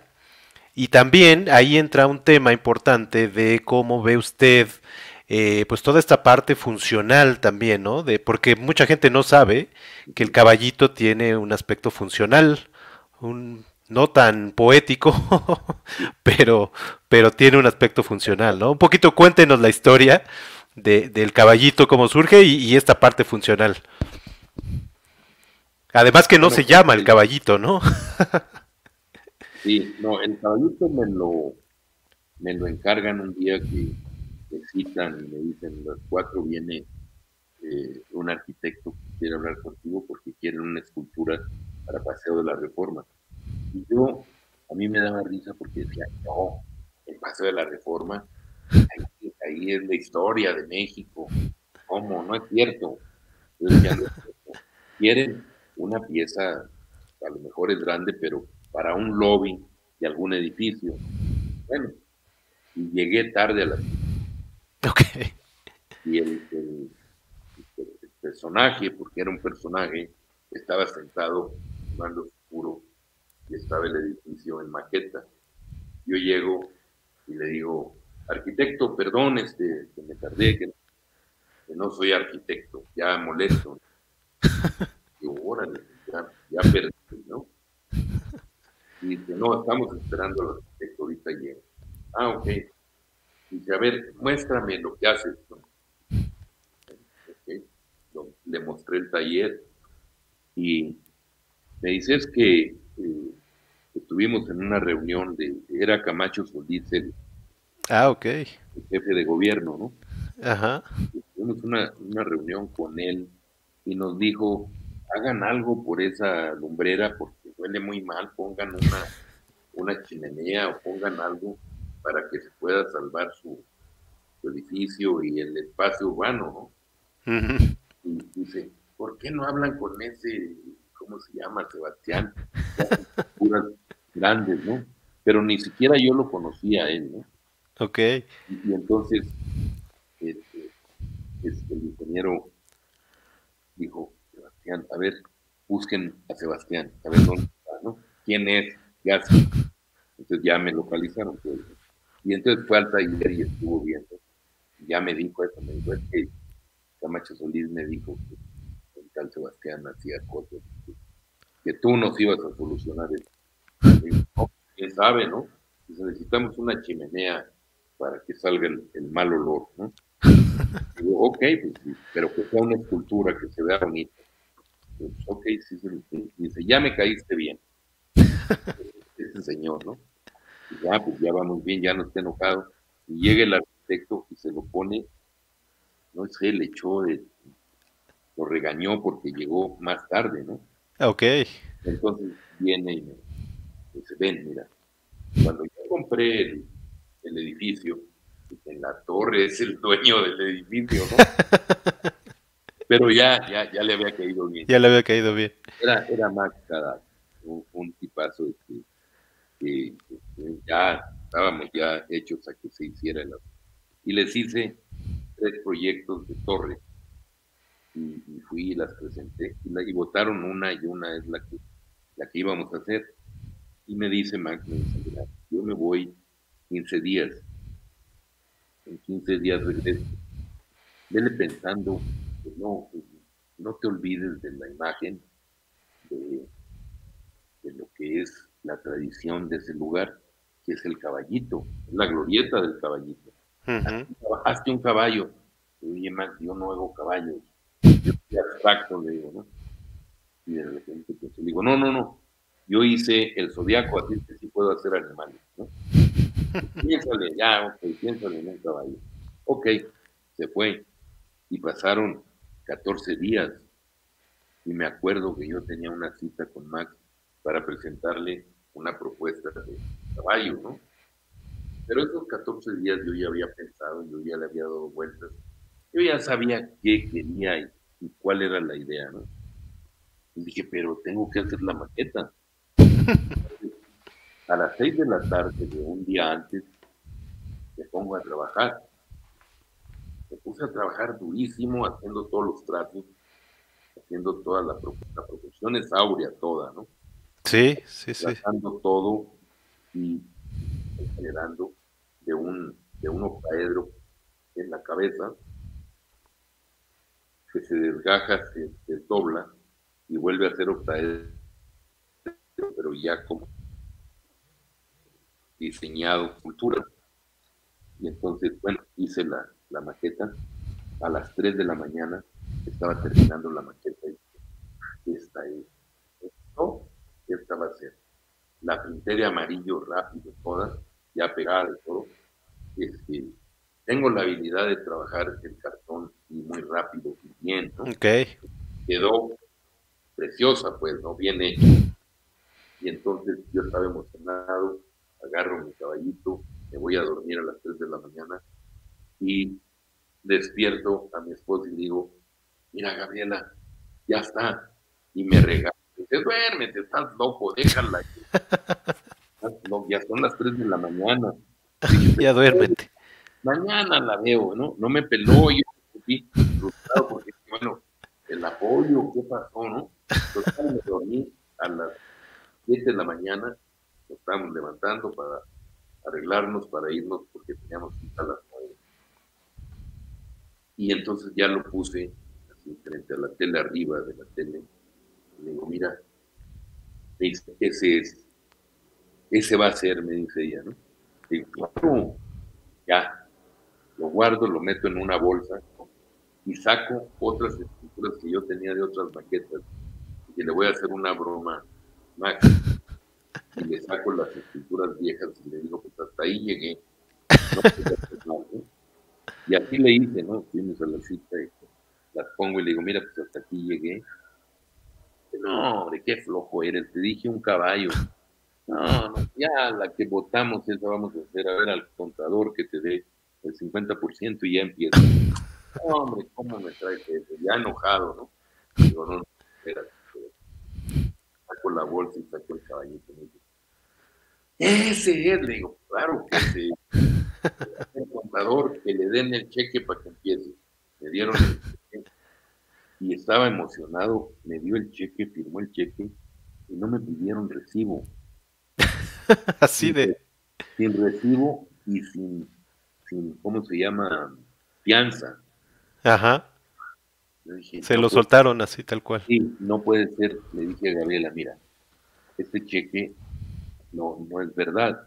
Ve y, me avisas si está firme, porque no va a estar firme. Porque no puede ser que te lo den así nomás. Claro. Y entonces se va, Gabriela, y me habla por teléfono y me dice, oye, ya está depositado. no me digas. Me asusté en ese momento, y me asusté, porque yo sentí que tenía un gran compromiso de hacerlo y, hacerlo y empecé, tenía que pensar ya cómo preparar a todos los muchachos, a la grúa, a todo, ¿no? Entonces sí me asusté porque dije, tengo que hacer mi estrategia. ¿Y cuánto tarda en En hacerla. ¿Y, qué es lo que viene? Cuéntenos un poquito de su equipo de trabajo. Y, vi una, un video de su taller que sí tiene una grúa ahí gigantesca. ¿no? Ese pude hacerlo en seis meses, normal, con tiempo bien. Pero en, en, ese momento había una, una inauguración para una oración, sino un festejo para la independencia de Belice. Okay. Entonces, eso, el presidente eh, Carlos Salinas dijo, bueno, pues vamos a, regalarles una escultura para la independencia de Belice, un, monumento. Entonces me mandaron llamar y me dijeron, queremos un monumento para Belice. Me fui a Belice, vi el espacio, y en Belice no había más que una piedra con una plaquita de la independencia en el suelo. Entonces hablé con ellos y les digo, miren, esa plaquita es muy importante, es lo más importante. Pues yo les propongo que hagamos una arcada que cubra a esa, a esa piedra para que vengan y la vean, porque es lo más importante, porque esa es la solemnidad de, la verdad de cuando lograron su independencia, cómo fue y por qué la placa. Y esa no la toquen, pero hacemos las, el monumento. Entonces les hice el monumento de, la independencia. Y por eso me retrasé un año con el caballito. Entonces yo le dije, dije, oye, güey, ¿qué hago? Ayúdame. Dice, no te preocupes, si es del presidente de la República, nos esperamos porque yo quiero que inaugure.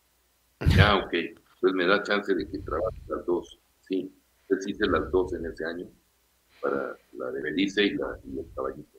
Por eso me tardé un año. Y, bueno, pues, ¿qué más quieres que te platique del caballito? Su equipo de trabajo, su equipo de trabajo, eh, que entiendo que ya lleva tiempo trabajando con ellos, ¿no? Bueno, han, todos los soldadores y han, variado y, muchos ya no están aquí, ya, ya partieron porque empezamos desde hace 50 años y algunos ya tenían edad, pero ha sido muy bonita la, el desarrollo y la tradición de esto. Y siempre lo que pasa es que llegan sin saber o sabiendo poco y de repente la experiencia de estar ahí los hace especialistas y muy buenos, cada quien en lo suyo. ¿no? Entonces arman o, pulen o pintan, cada quien hace lo suyo. Ahí hay, hay un recuerdo eh, de, al estar haciendo el caballito, que tuve una suerte increíble porque estábamos armándolo y la grúa levantó una de las partes que eran, que eran huecas, pues están unas secciones y estaban todos los muchachos ahí y había muchachos abajo y la pieza se cayó.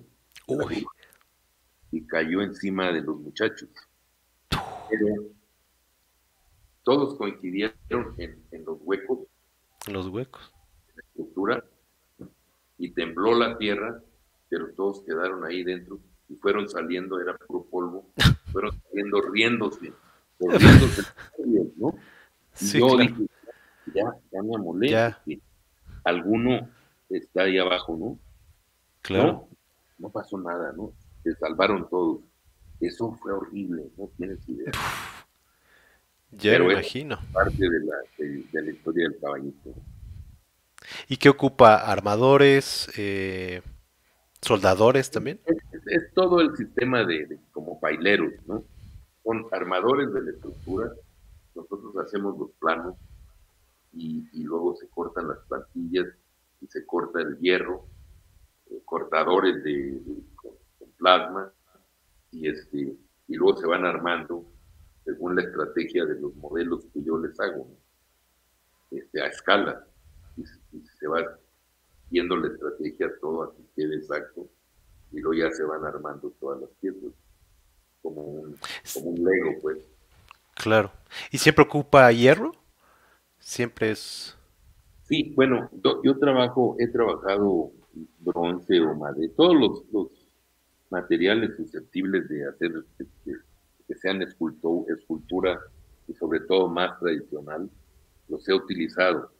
Pero el más económico, el más útil incluso, y, el más con el que puedo hacer este, alardes de estructura es con el hierro, porque el, mismo, hierro hace la estructura y sirve como escultura. hago una sola, un solo trabajo. En cambio, si, lo hago de concreto, debo de hacer tres trabajos. El de, el de hierro, luego el cemento y luego, no, antes del cemento la, la madera, la cimbra y luego el cemento. Entonces hago tres estructuras en una, ¿no? Ok. Y con hierro pues, se hace una sola y, se, y ya queda la pieza. ¿no? Claro. Oye, ¿y ¿cuánto, ¿cuánto llega a pesar, por ejemplo, el caballito? Y háblenos también de la cimentación, que es importante, ¿no?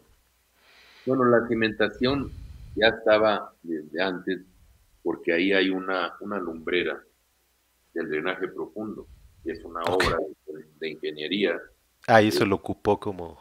Son, este, muros de concreto para toda la vida, pues es el drenaje, todo el drenaje que va por debajo de la Ciudad de México. Es un río tremendo, ¿no? Por todos lados.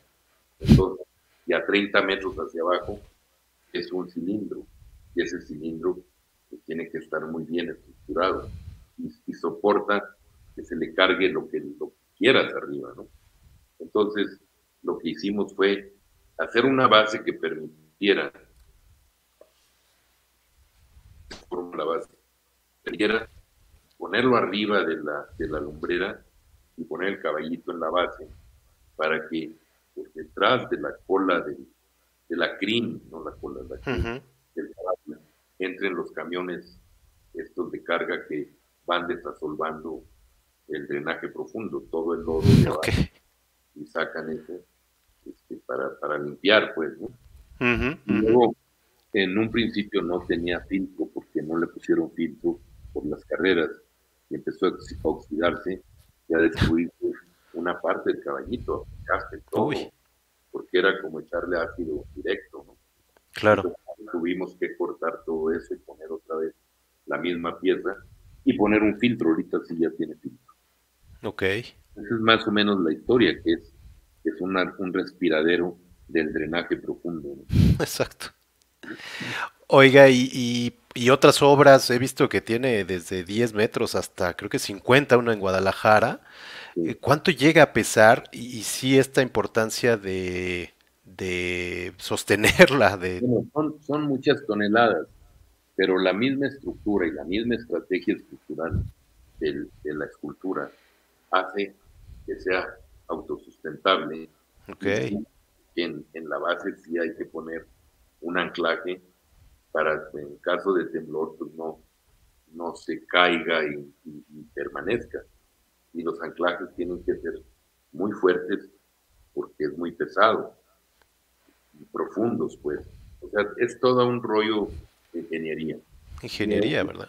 Un escultor monumental tiene que tener una tremenda intuición ingenieril y saber este, con qué ingenieros eh, ponerse a trabajar para que resuelvan lo que se necesita y, aprender y que aprendan. Con tu cultural a veces no son, no son estructuras eh, lógicas, son estructuras torcidas, pero que tienen una red que hace que sean autosustentables y que, no tengan conflicto de que se van a caer. Tengan un balance, ¿no? Sí, pero a veces hay ingenieros geniales que todo lo resuelven y que todo lo calculan, pero hay otros que no calculan, ¿no? Entonces calculan más lo, lo estricto y la arquitectura muy, muy convencional, pues, ¿no? Pero cuando se meten curvas complejas, superficies este, regladas, es más, es más complejo, pero digo, en México hay extraordinarios ingenieros. Y yo tengo, yo tengo uno que me ha asesorado toda la vida y que, ya ha trabajado con nosotros toda la vida, que es eh, Emilio Soberón. Por eso no se han caído las esculturas. Ninguna, ¿verdad? Ni con, Ninguna se le ha caído con temblores ni nada, ¿verdad? Qué maravilla. Y eh, bueno, háblenos un poquito ya nada más para terminar el tema de, la obra monumental. Eh, esto que nos decía, el color es muy importante, ¿no? Y usa prácticamente siempre los colores primarios, ¿no? Amarillo, rojo y azul. Sí, nada más. ¿Por qué decidió hacerlo y, cómo decide darle el color a cada una de sus esculturas?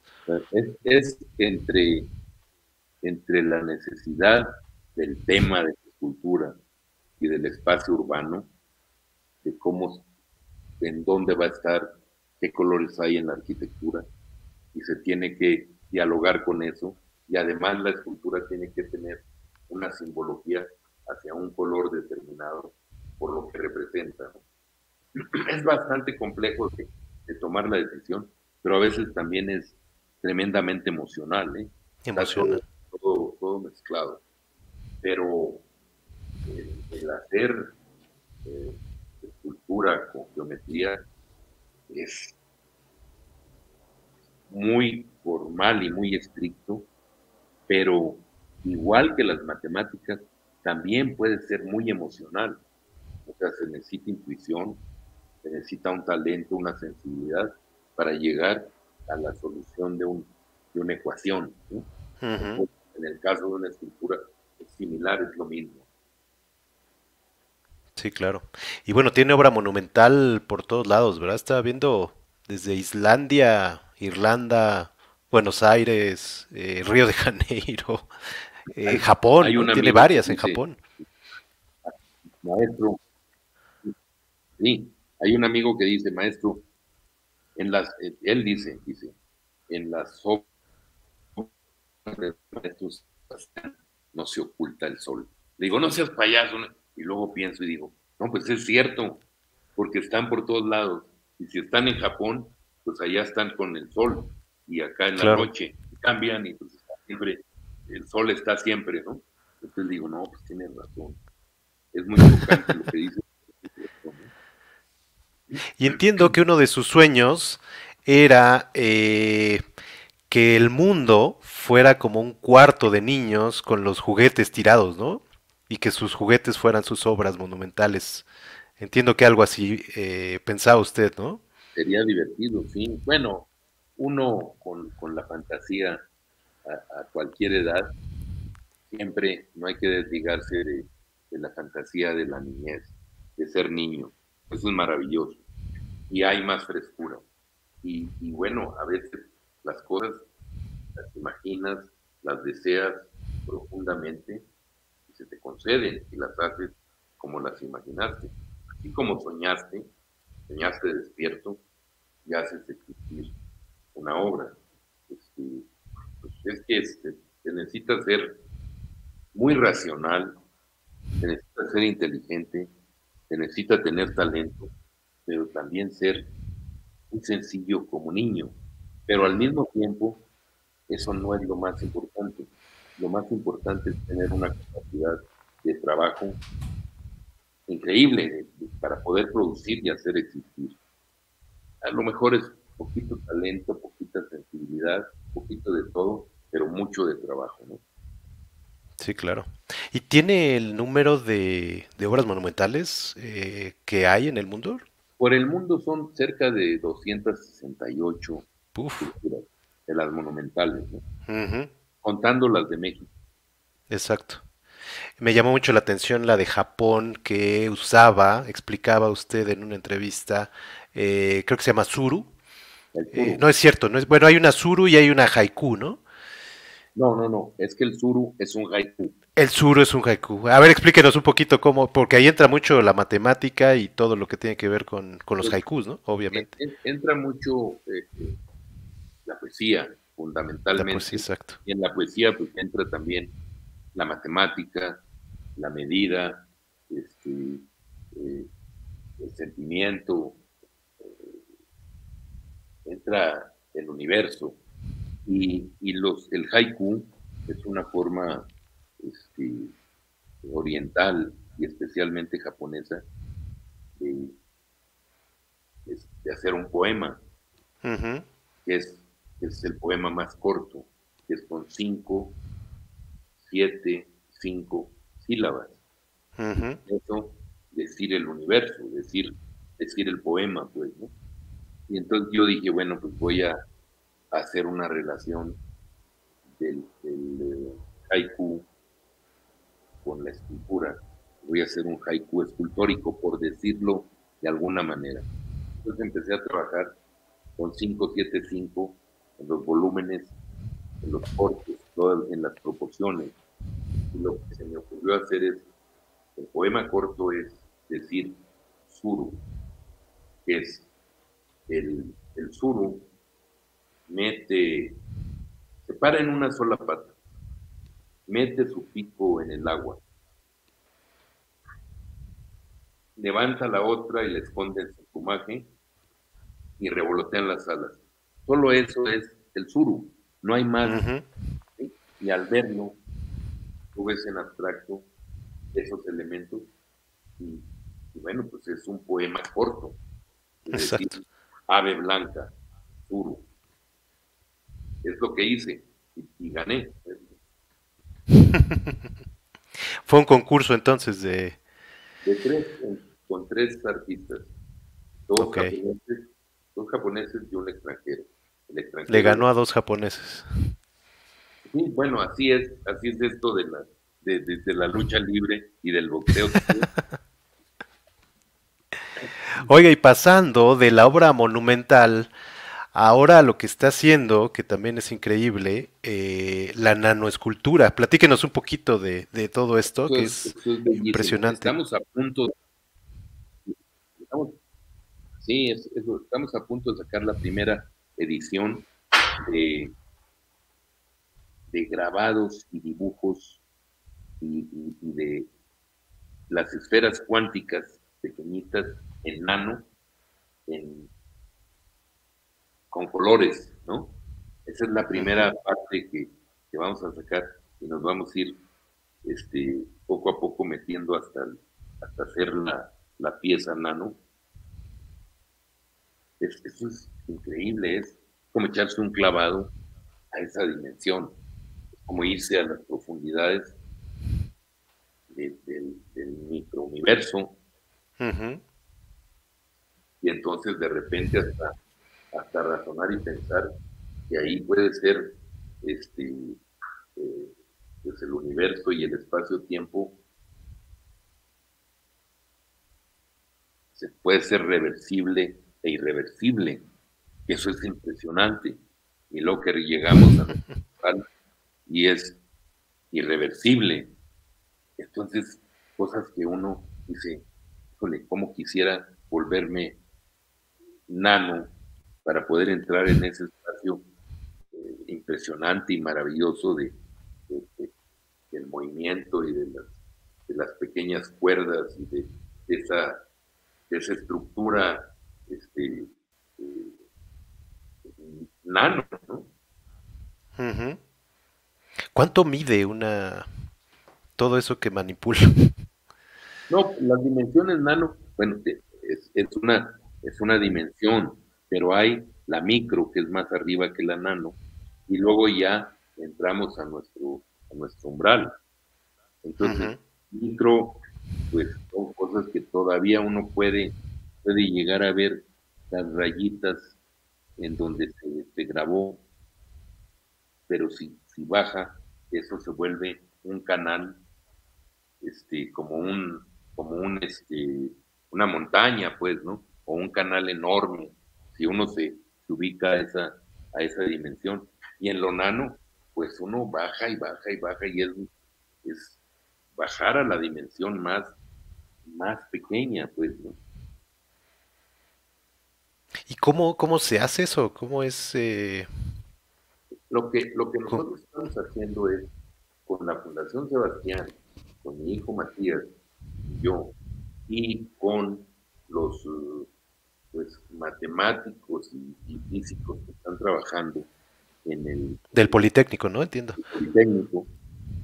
Hicimos un, un, un team, un equipo para trabajar el proyecto entonces los que nos meten a esa dimensión son, son estas personas que saben manejar los microscopios y manejar las máquinas para entrar y empezar a, a ver cómo se van poniendo las capas de, de material, pero a nivel este, micro o a nivel nano, y van, van construyendo pues, ese universo. Y ahí está, y es real.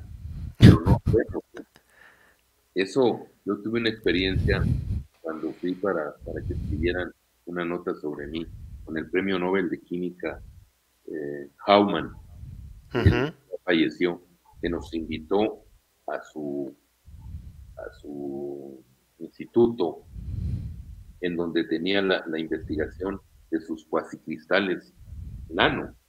Ok. Creados por él. Y eso era maravilloso. Ahí, ahí pude emocionarme con esa, con esa dimensión porque lo pude ver en la computadora o en el microscopio, ¿no? Es, es, maravilloso. Lo vi luego también en, en, San Antonio, este, en el departamento de, en la universidad de, nanotecnología o de, cosas nano, este, estudios de, nanotecnología con, eh, ¿cómo se llama? El, ingeniero eh, Yacamán. Eh, ok. él estaba ahí de, jefe de esa, de esa sección y me dijo, mira, ven, quiero que veas los cristales de, oro, cómo se transforman en la dimensión nano, cómo entran en, una simetría 5 nuestra, en nuestro umbral, en nuestra dimensión.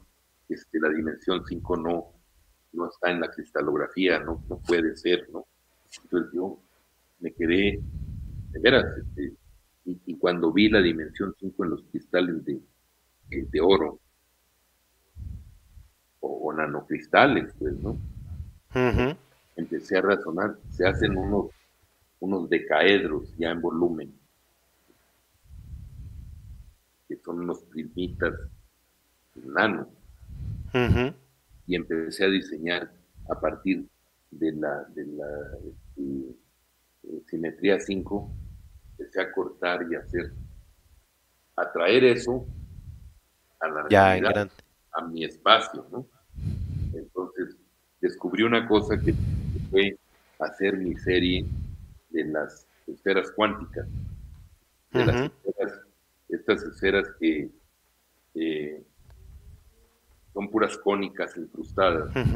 Y, y este, los spin de, partículas girando y que si las muevo se transforman los volúmenes y, eh, las superficies de, pues se puede de, de una superficie tercera dimensión y hacer un giro y llegar a una superficie de dos dimensiones. Entonces eso es, es topología pura, pues, es, pero la, el punto de partida de esas esferas, pues yo les llamé este, cuántico por la relación de las cónicas y el spin de las partículas. ¿no? Ok. ¿Y qué material se trabaja con, lo, con la nanoescultura? ¿Cómo, lo, qué, qué material es? Trabajan cristales, se trabajan cuarzos, se trabaja aluminio, metales, este, o el oro. O sea, es, es igual, nada más que con láser es como se corta y cómo se va. Y, luego, más o menos, yo no soy un experto en, en esas cosas, por lo que yo, lo que yo vi de repente sientes el, espacio cuando estás viendo que tú puedes ver que está trabajando la máquina y lo que hace es hacer polvo el material en, ¿cómo se llaman? En, eh, átomos que caen como polvo a las laminitas y quedan puros átomos, una superficie y puedes poner otro material y entra el polvo y queda otra laminita de átomos en otra superficie. Y así es como se va haciendo una lámina más, más gruesa, pero, pero en, esa dimensión, que es atómica, que es nano, pues, Y llegará el momento de, que tenga una exposición de... No, sí, esa es la idea. Es lo que está trabajando. Va a ser una exposición en donde puedan ver en la computadora y en las pantallas cómo se puede entrar hasta esa dimensión y ver lo que se hizo y ver los diseños. O sea, pero todos son en unas laminitas y ahí hay miles de, piezas, ¿no? Pueden caber sí, claro. Entonces, eso es maravilloso, es otra manera de ver el universo o el microuniverso o no sé cómo llamarlo. Eso me lleva un poquito a pensar de pues toda esta evolución de la tecnología ahora que usted está haciendo eso, pero me imagino por ahí de los años 60 eh, pues era todo muy diferente, ¿no? Y me imagino cómo se emociona usted eh, pues con la tecnología, ¿no? Y cómo lo ha ayudado en todo esto, pero también en cuestiones ya personales, ¿no? Es, es verdad. Eh, yo, yo recuerdo al maestro Antonio Rodríguez, el gran crítico de arte, que que me descubrió porque yo estaba haciendo unas esculturas con cierta conciencia de nudos, nudos matemáticos. Matemáticos. Pero no, no conocía la teoría de nudos. Y entonces, bueno, pues los vio y me dijo, usted está haciendo este, topología y, y, usted está manejando combinatoria. Y decía, híjole, qué pesado está el maestro. No le entendía porque no me había metido a ver qué era. Y entonces esos nudos los dejé como por 15 años o más, ¿no? No más, como 20 años. Y de, repente todo, toda la tecnología cambió y esa, esa teoría de nudos que, que, quien la, la razonó y la creó, era para demostrar que así eran los átomos. Que esa era la estructura de un átomo, pero no, no fue real, no fue verdad, pues, ¿no? Pero el análisis y la, la, demostración y la matemática que, que, hizo crear esa teoría de nudos es maravillosa, es para, para matemáticos de alto nivel, o sea, y muy abstractos, ¿no? Entonces, casi los matemáticos lo usaban como una demostración de su capacidad de inteligencia y de, conocimiento, ¿no? Para cuando se metían a teoría de nudos, pero decían, no sirve de nada, todo cambia y de repente la teoría de nudos se vuelve fundamental para la comprensión del universo, para la comprensión del todo, para la comprensión de la teoría de las, de, cuerdas, ¿no? Y las supercuerdas. Entonces, yo dije, si eso se volvió tan importante, voy a volver a hacer mis nudos con plena conciencia. Y entonces hice la serie de los nudos que yo les llamé universos paralelos este, y e hice la exposición. Y esa es otra visión. También son los catálogos, están todos razonados y escritos por amigos matemáticos, igual que, que, las cuánticas. Y luego después hice los, los este, toroides. Y muy, muy atrás hice un, un homenaje a, a, ¿cómo se llama? Apolonio. Ok. Con todas las cónicas, porque luego Apolonio, pues en las cónicas, para los cálculos de las, de las cuánticas, de lo cuántico, se volvió también como, como oro puro, ¿no? Como un genio de, todos los tiempos. Oye, ¿y usted ahora usa la tecnología para diseñar? Yo creo que, un artista de hoy, si no, si no toma en cuenta ciencia y tecnología, arte, ciencia y tecnología, no tiene sentido. Yo creo que es el futuro de, los seres humanos. la comprensión de esas tres disciplinas bien entendidas y trabajando conjuntamente. El arte necesita de la ciencia y de la tecnología para poder desarrollarse y, ser más, más rico y más profundo. Entonces yo creo que los artistas debemos de tomar en cuenta eso. Y por supuesto, pues nosotros usamos las computadoras para hacer todos los planos de mis, de mis esculturas monumentales, para hacer todas las animaciones, para hacer todos los cortes de mis de, de todo. Y luego también usamos eh, las, las eh, impresoras de 3D para hacer maquetas. Okay. Yo las hago con en cartón, pero también con las de 3D o para hacer joyería. Son, son medios técnicos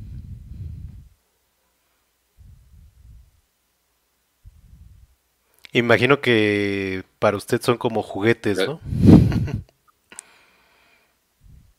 Maravillosos juguetes, pero los pinceles para Leonardo eran juguetes. todas las, máquinas para escribir eran juguetes. Este se este, jugando y fracasando y volviendo a fracasar y volviendo a hacer. Y entonces, pues, trascendió como uno de los genios más grandes de la humanidad. Totalmente.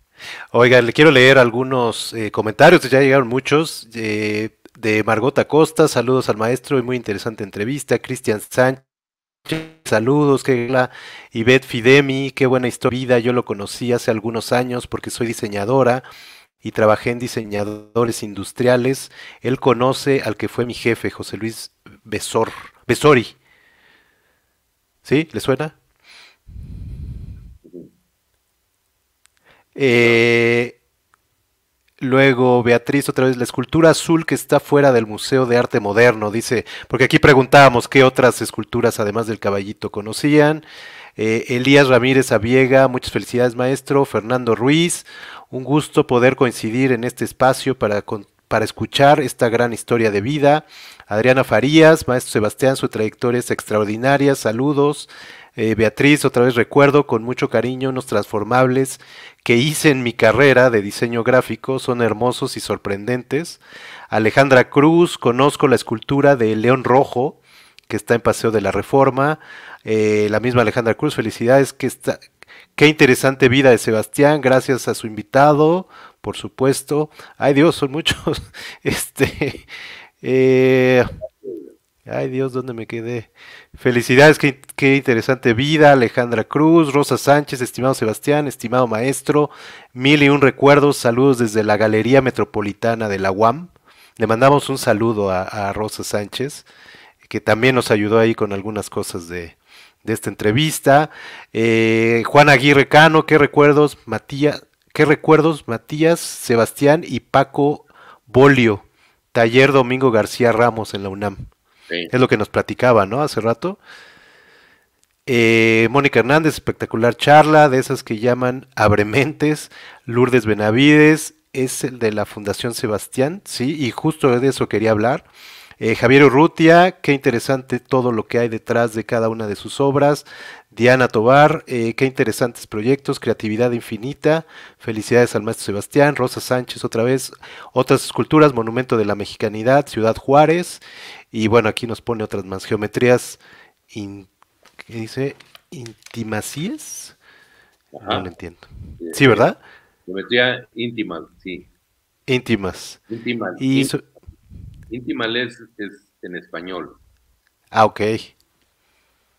Ok, y bueno, ya terminando, muchísimas gracias de verdad por, ya nos pasamos mucho, pero yo le quería preguntar un poquito de la Fundación Sebastián, este, en qué se enfoca y un poquito entiendo que su hijo Matías eh, por ahí es, eh, creo que el director. Un poquito platíquenos de, de la Fundación. Bueno, mira, la Fundación Sebastián, yo la, bueno, la creamos porque fue, toda la familia. Pero a mí se me ocurrió que fuera para preservar, para promover, para difundir, pues, ¿no? Y para cuidar la, el acervo sebastino, toda la obra para que no se pierda, para que eh, muchos artistas dejan la obra regada y, luego es muy difícil volverla a juntar y se pierde. O sea, para que no sucediera eso. Pero hacerlo independiente porque nadie más que, que tú mismo claro. de tu propia obra. Eh, no puedes estar pensando en un paternalismo de, un gobierno claro. que, lo conserve, ¿no? Y entonces lo hice con esa idea. Y de repente vi que funcionó, que, que sí, bueno, yo he podido viajar, exhibir, promover la obra de Sebastián, no solo en México, sino en el mundo. Y entonces eh, yo soy como un activo de la fundación, yo soy como propiedad de la fundación, yo produzco. Pero me di cuenta también de que no debía de ser egoísta y solo pensar en mi obra y en lo mío.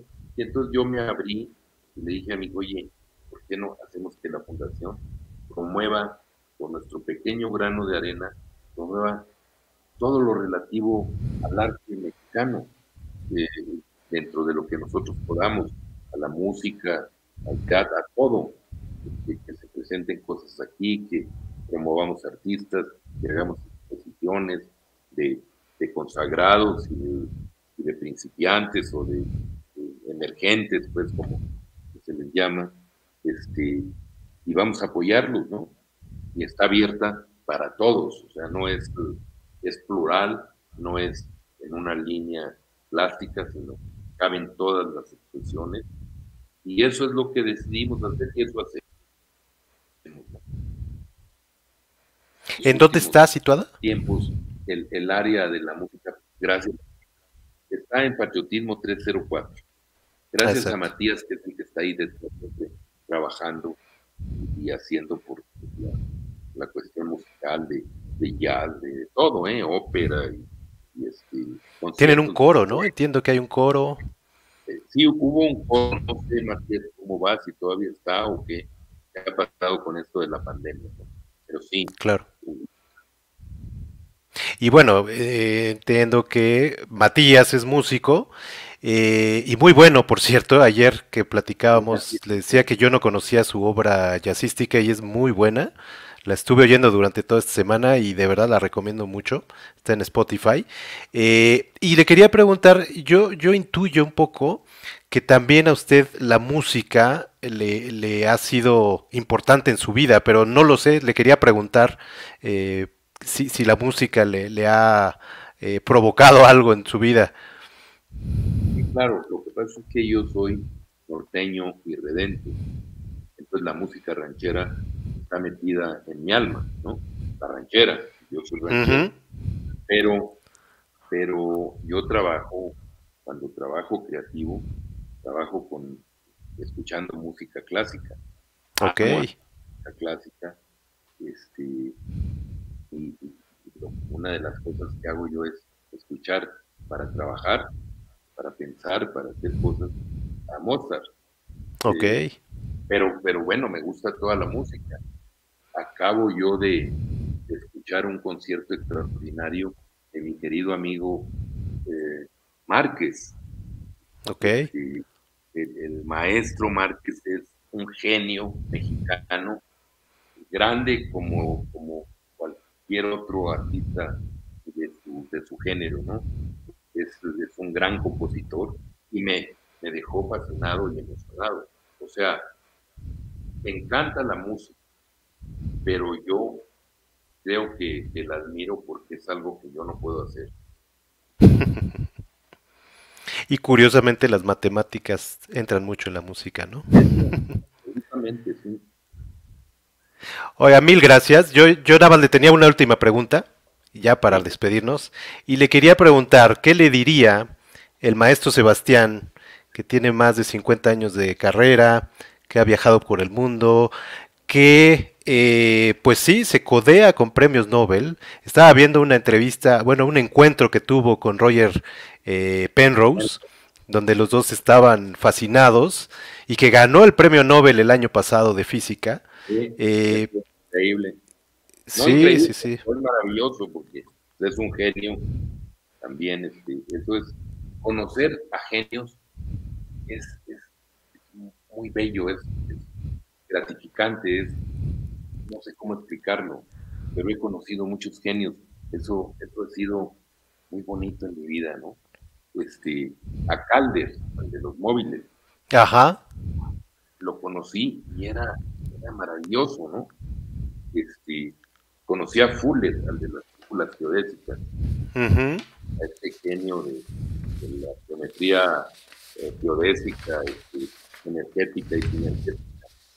Y conocí a otro grande de todos los tiempos de la arquitectura, que fue Niemeyer, que Eso, y escucharlos y ver su obra, convivir con ellos, la, la simplicidad, la sencillez, pero la genialidad, por otro lado, es maravilloso.